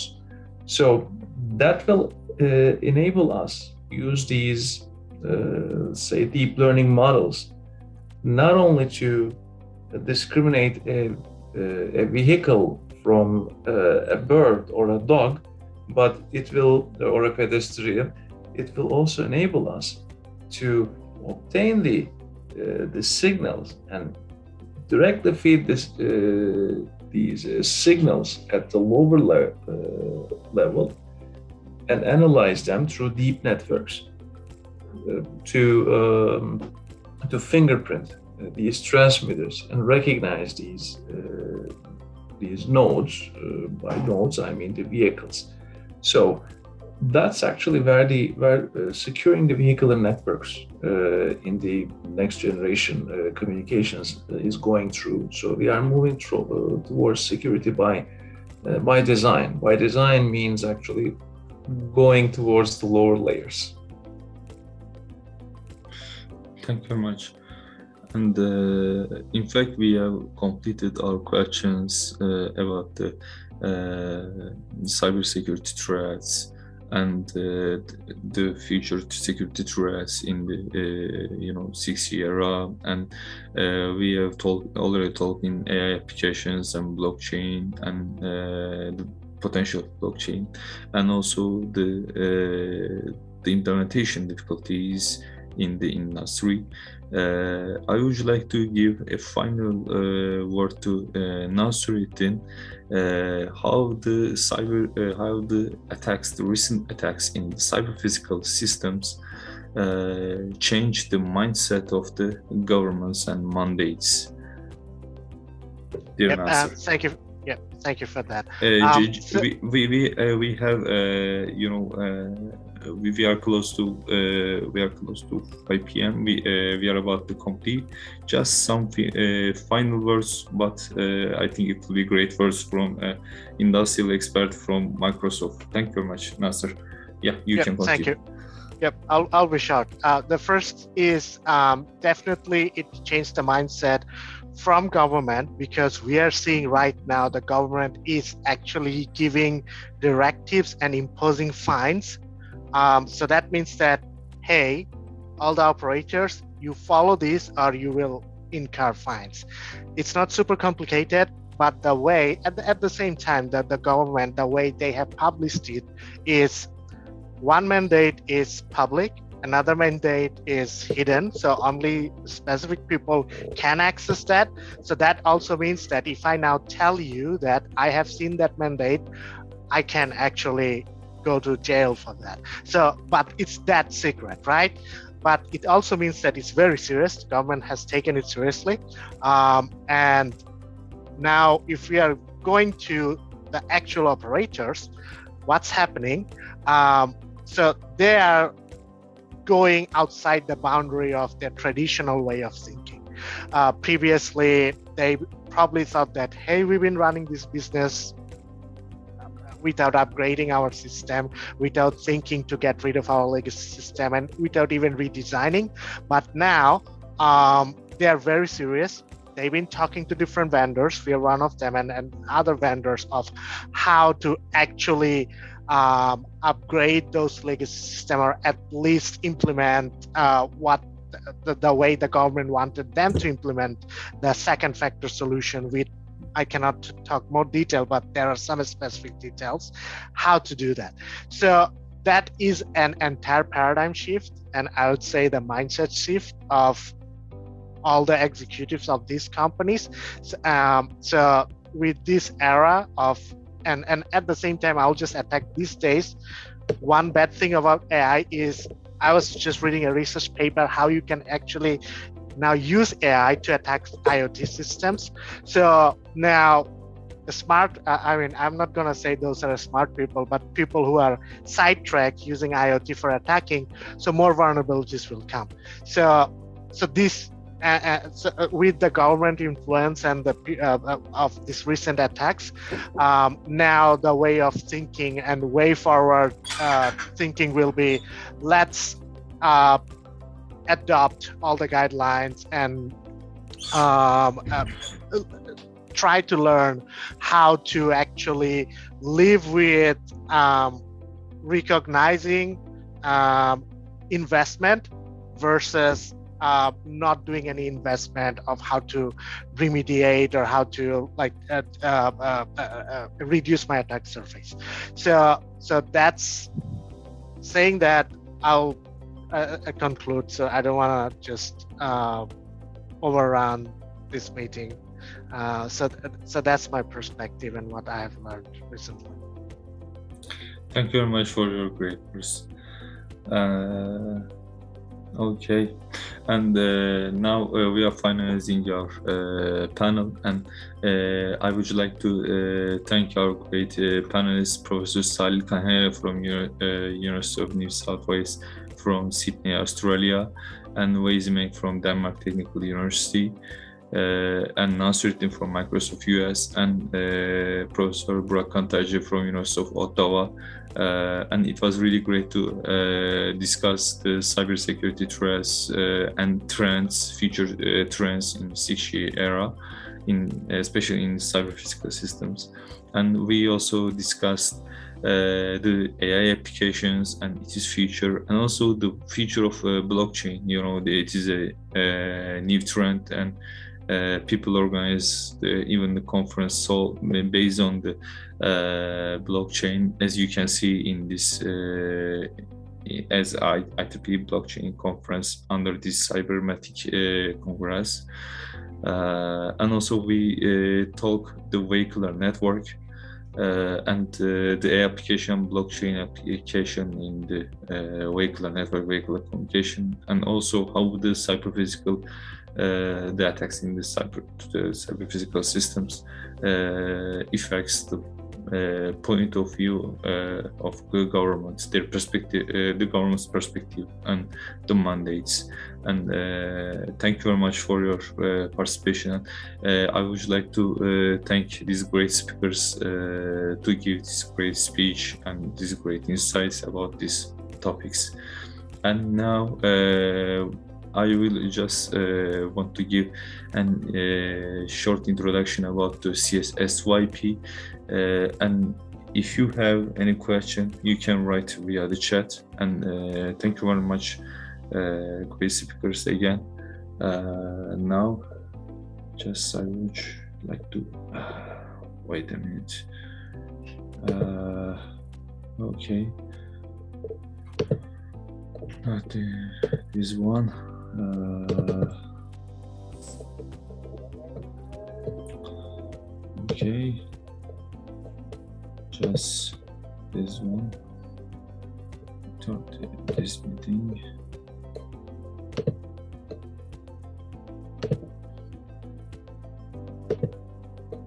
Okay, could you see the screen? Okay, my slides. Yes. Okay. Okay. Uh, thank you very much. I would like to just uh, give a, a bit, uh, you know, uh, I would like to give a short summary of the CSSYP activities. Uh, as I said, uh, I am the IEEE Computer Society SYP Activities Committee, was chair responsible for YP activities, and also the organizer of this CSYP meetup. And okay, now, I would like to talk shortly about uh, this CSYP, uh, SYP initiatives. Uh, Okay, the CS, uh, uh, let's talk about the IEEE MGA board and SYP. The IEEE MGA, Member and Geographic Activities Board, uh, focus on uh, to providing more opportunities to uh, its members, CS members, uh, the CSYP members and student members. And it has four committees, geographic activities committees. you remember Peter uh, Peter Peter talk after uh, Peter uh, initiates our meetup with his talk, and he is the MGA board vice chair responsible for geographic activities committees, and also the we have student and young professionals activity committee the organizer of this uh, the organizer of this meetup is uh, the student and young professionals activity committee SYP, CSSYP, and also we have awards and recognition and also special technical committees. As I remember, we have 19 technical committees which can consider uh, uh, computer communications, uh, AI, or uh, blockchain, and quite many uh, special technical committees we have. You can check them via our website. And let's focus more on the CSSYP. In the CSSYP, uh, we would like to start some initiatives to address the needs of the students and young professionals. And we are generally organizing the global activities or sometimes help the uh, regional uh, student units or YP units, sometimes collaborate with them, but we are a global committee. Uh, we are the IEEE Global SYP Committee. And uh, so our initiatives targets generally uh, all people, all the students and young professionals all around, uh, all over the world. Let's talk shortly about the some of the initiatives, IEEE Scholarship Outreach Initiative. IEEE provides three scholarship or award, Richard Merwin Student Scholarship, Upsilon Pi Epsilon Student Award, and Larson Student Paper Award. Uh, and for the, this one, the Richard Merwin Scholarship, we have a RAM and uh, RAM help desk, and also for the UPE, we have another uh, help desk. We also have Lance Stafford Larson Outstanding Student Paper Awards paper contest. Uh, I'm also a, a, third place recipient in the 2019 Lance Stafford Larson paper contest, and uh, this is more academic research based than the others. These are although they say academic, they are generally coursework based. they look for coursework coursework based academic uh, success but in this one they look for uh, your research ability and uh, with this SOI scholarship outreach initiative we try to help the uh, applicants the scholarship or award applicants and we try to mentor them and guide them uh, to make their application better and uh, thus they can tell they, thus they can uh, tell themselves better and make a better application. And also we have IEEE uh, CS Global Challenge 2021. In this uh, one, uh, we have the following words, uh, the following motto, create, solve, in, innovate, and compete. And it is more on the uh, students, uh, the undergraduate students. And in this challenge, we provide two challenges, analyzing a computer system usage and failure data from university center computing system. And as a second challenge, we provide analyzing sentiments in tweets related to the COVID-19 pandemic. And uh, based on these challenge problems, uh, we expect, uh, we wait for the solutions from the students and these are the numbers uh, from all over all around the world all over the world. Uh, who participated in the IEEE Global Student Challenge in 2021 41 countries uh, nearly 500 students and more than 200 te uh, teams and nearly 200 universities. And these are the IEEE Global Student Challenge uh, 2021 winners. You can see uh, our winners are from uh, Region 9, Brazil, Region 8, Saudi Arabia, uh, China, uh, Indonesia, and again China.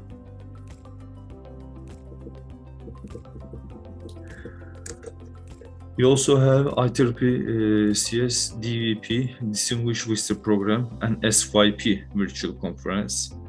Uh, in fact, this conference is uh, started last year. This year we we couldn't do that conference uh, because we are organized. We focus on the CSS5 Congress. I will talk about that.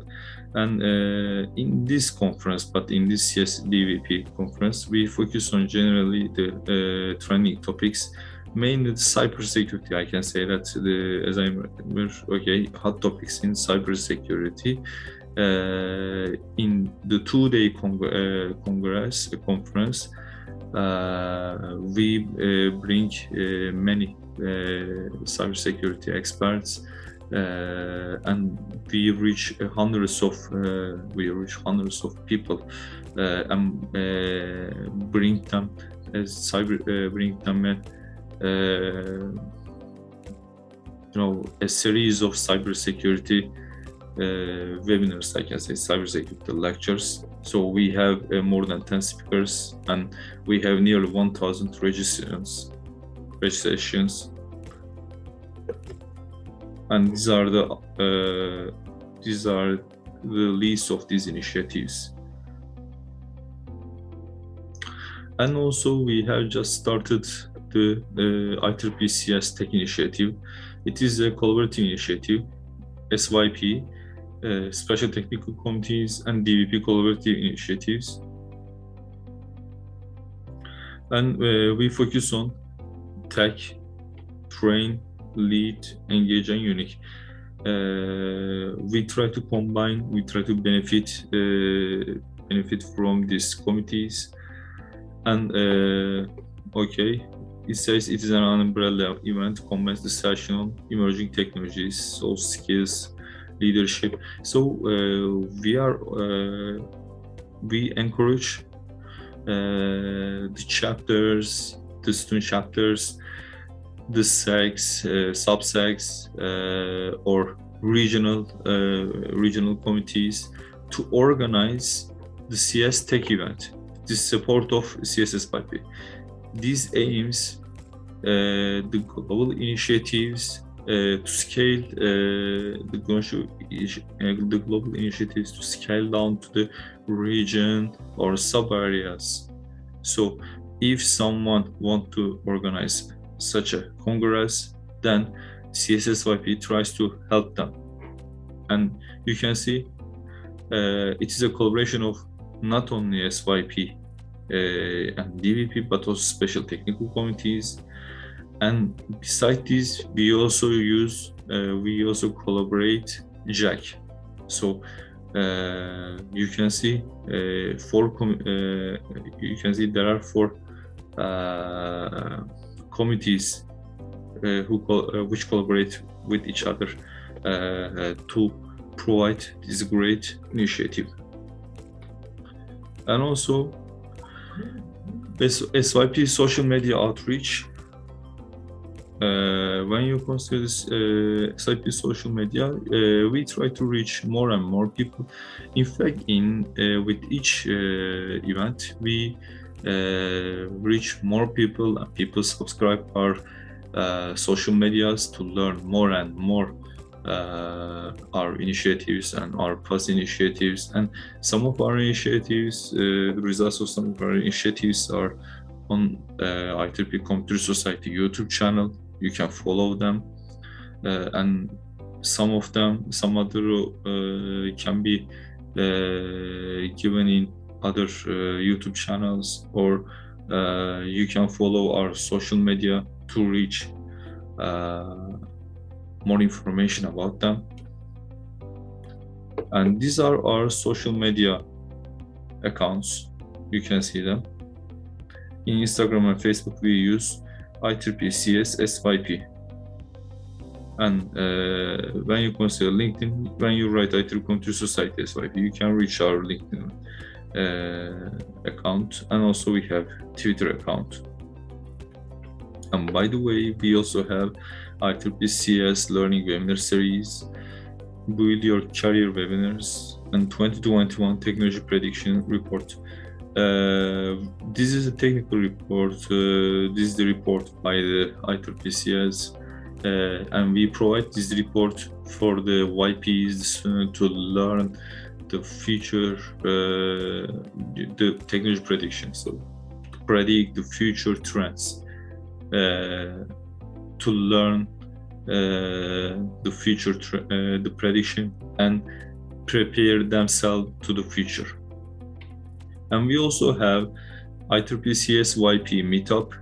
Uh, excuse me, we also have IT, uh, IEEE YP micro mentoring program. As YP, uh, we are a critical phase. We are not student. Uh, we are professional, and but we are not major professional. We are young. We try to bring the youth, the youngness, and the uh, professional part. So young professional is an interesting area of uh, people's life. I think it is a very important and uh, it determines your future career. So what you do in your young professional era will affect your future career. So uh, it is very important uh, to find the right path uh, we always look for the right path in our career or in our life. And when we consider the mentoring micro mentoring in this micro mentoring uh, we try to uh, provide a mentoring opportunity. Let me shortly summarize it. Uh, we have three stages finding and mapping uh, mentor-mentee pairs based on common interest goals and expectations and providing right platform for the mentor-mentee relationship to flourish. We are still looking for that, uh, and also the setting the participants to grow beyond the program. Okay, by peer-to-peer collaboration. We have a program, uh, and let me say that we have two tracks: academia and industry. We have some criteria about the mentors.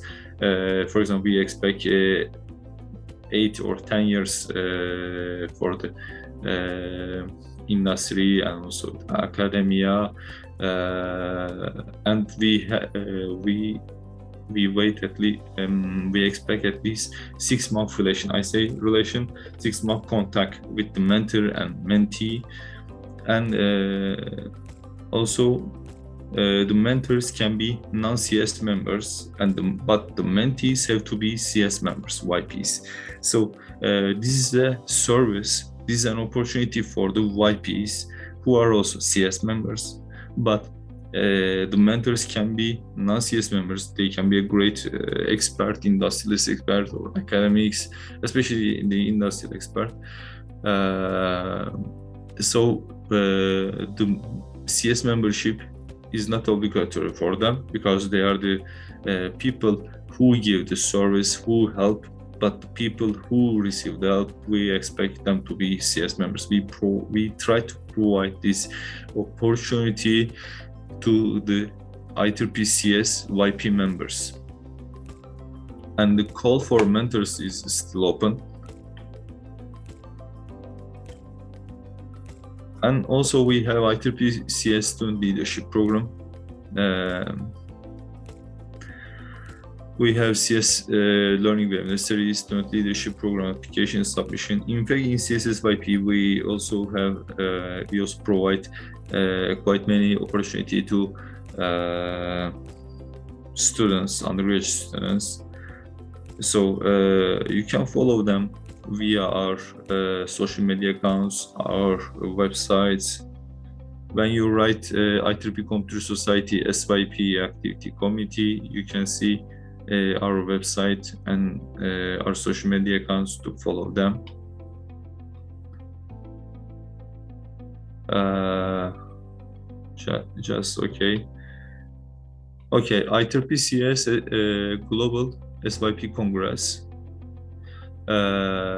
We aim, connect, advance, and lead. We organize the Congress in uh, 23rd and 24th uh, October, and you can see me there. And in that Congress, we organize we did that congress we organized the first uh, society based SYP Congress. I say society based. To the best of knowledge, none of the societies organize such a Congress. So we are very proud to organize a, a SYP Global SYP Congress uh, as IEEE SYP committee.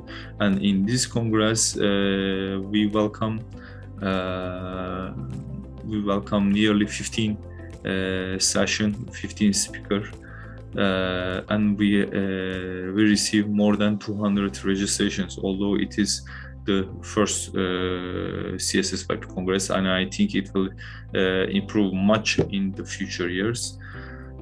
Uh, in this global congress, uh, we bring the IEEE president, the current CS president, Forrest Shull, Professor Forrest Shull, and uh, then we continue with the technical session entrepreneurial session the professional development sessions and some some technical sessions for the uh, beginner level.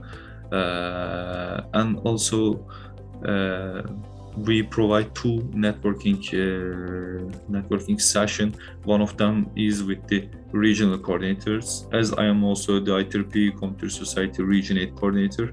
Uh, I uh, I make the connection with the region coordinators and the uh, participants for them to engage more and more their region because in the regional level we also need some volunteers uh, we have quite many volunteers but uh, in the CS this year we pro, uh, we form some new committees and new committees bring some new volunteering opportunities. So it is better for you to uh, also look for that committees under the geographic and activity geographic activities committee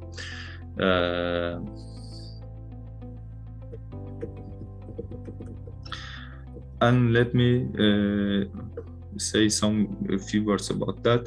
Uh, I'm about to end my presentation. The CS activities for uh, early career professions for members and non-members. Uh, we have early career webinars and future competing leader talks. Uh, these are in development. Leadership Thursdays in development.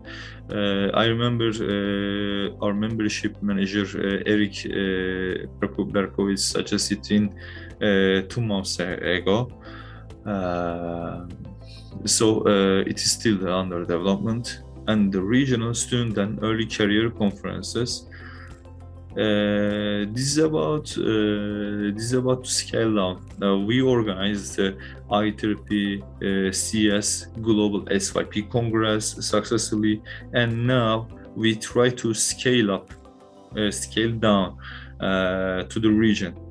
So uh, if for example the uh, if a region cs region regional committee aim to organize a congress then uh, we'll try to help them about their initiatives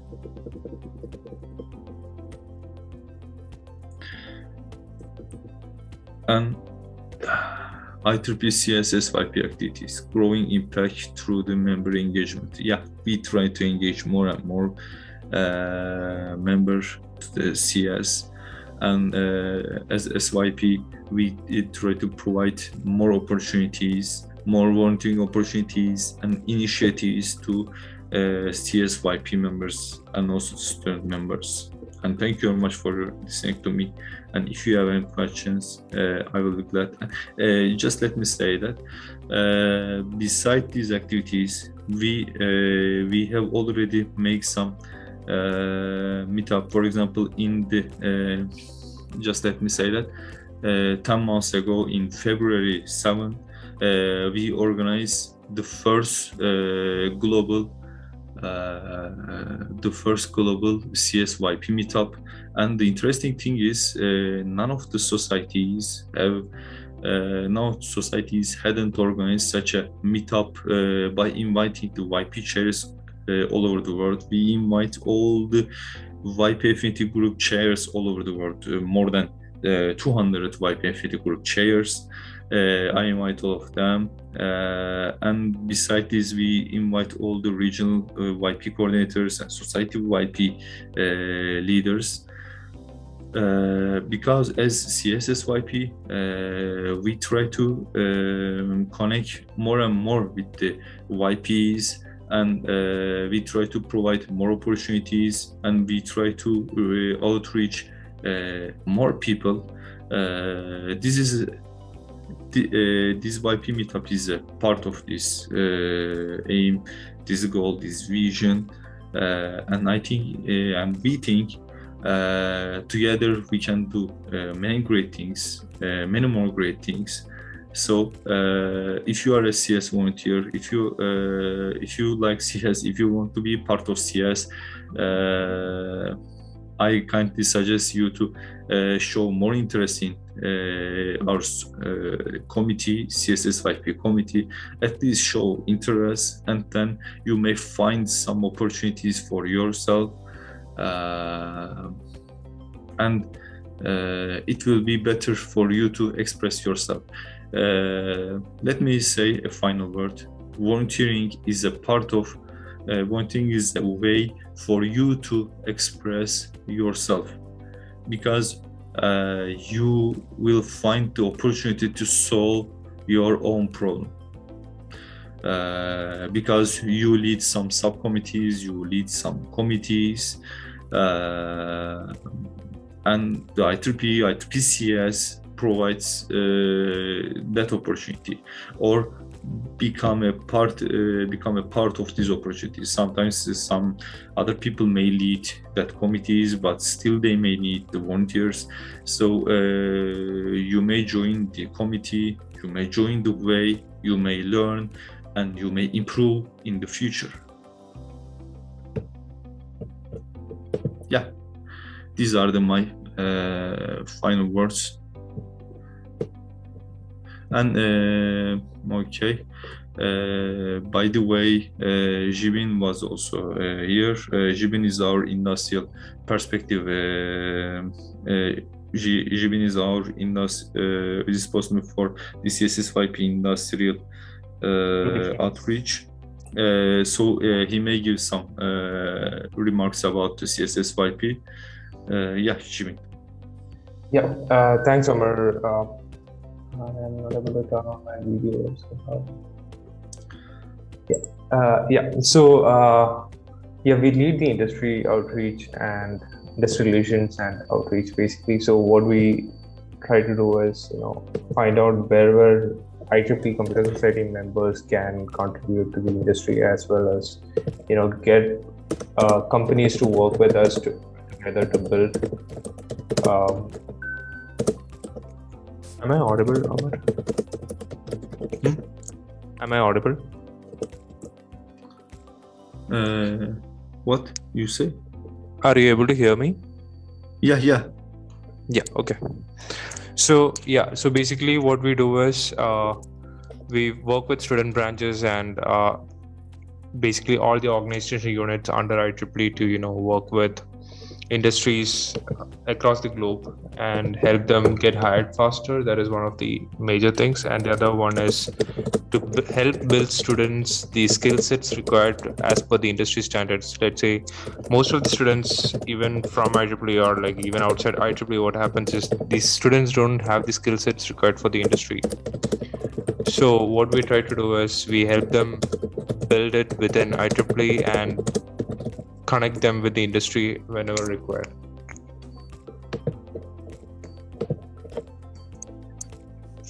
If you have any questions, just let me know. So, yeah. Uh, uh, okay, uh, we will finish in a few minutes. Uh, Jibin, uh, do you have uh, you had an initiative as i remember uh, yeah so that is so, so what we are doing is we are uh, trying to contact all the so we are planning to do a program wherein you know it's completely hybrid for next year wherein we bring top industry leaders from across the globe and probably it would be one week whole program. We are planning for May or June next year. So we would like to invite everyone you know bring on ideas like whichever speaker that you would like to have us uh, for the event. So we can try to bring them on. Thank you very much Jibin. Uh, thank you very much for your patience uh, and sorry about the latency. We start a bit uh, late uh, because of uh, the some misunderstanding about the links. And uh, thank you very much for your patience, your uh, valuable time. And it was really great to make this meetup and uh, talk with these great speakers uh, and seeing these great attendees. And uh, if you have any questions, uh, you can check our website. And I will also provide some other links to reach out. And if you have any question, you can write here. And if no question, then uh, I wish a great uh, congress and I wish you uh, a great lecture in the uh, in the next session. Thank you very much for this great opportunity.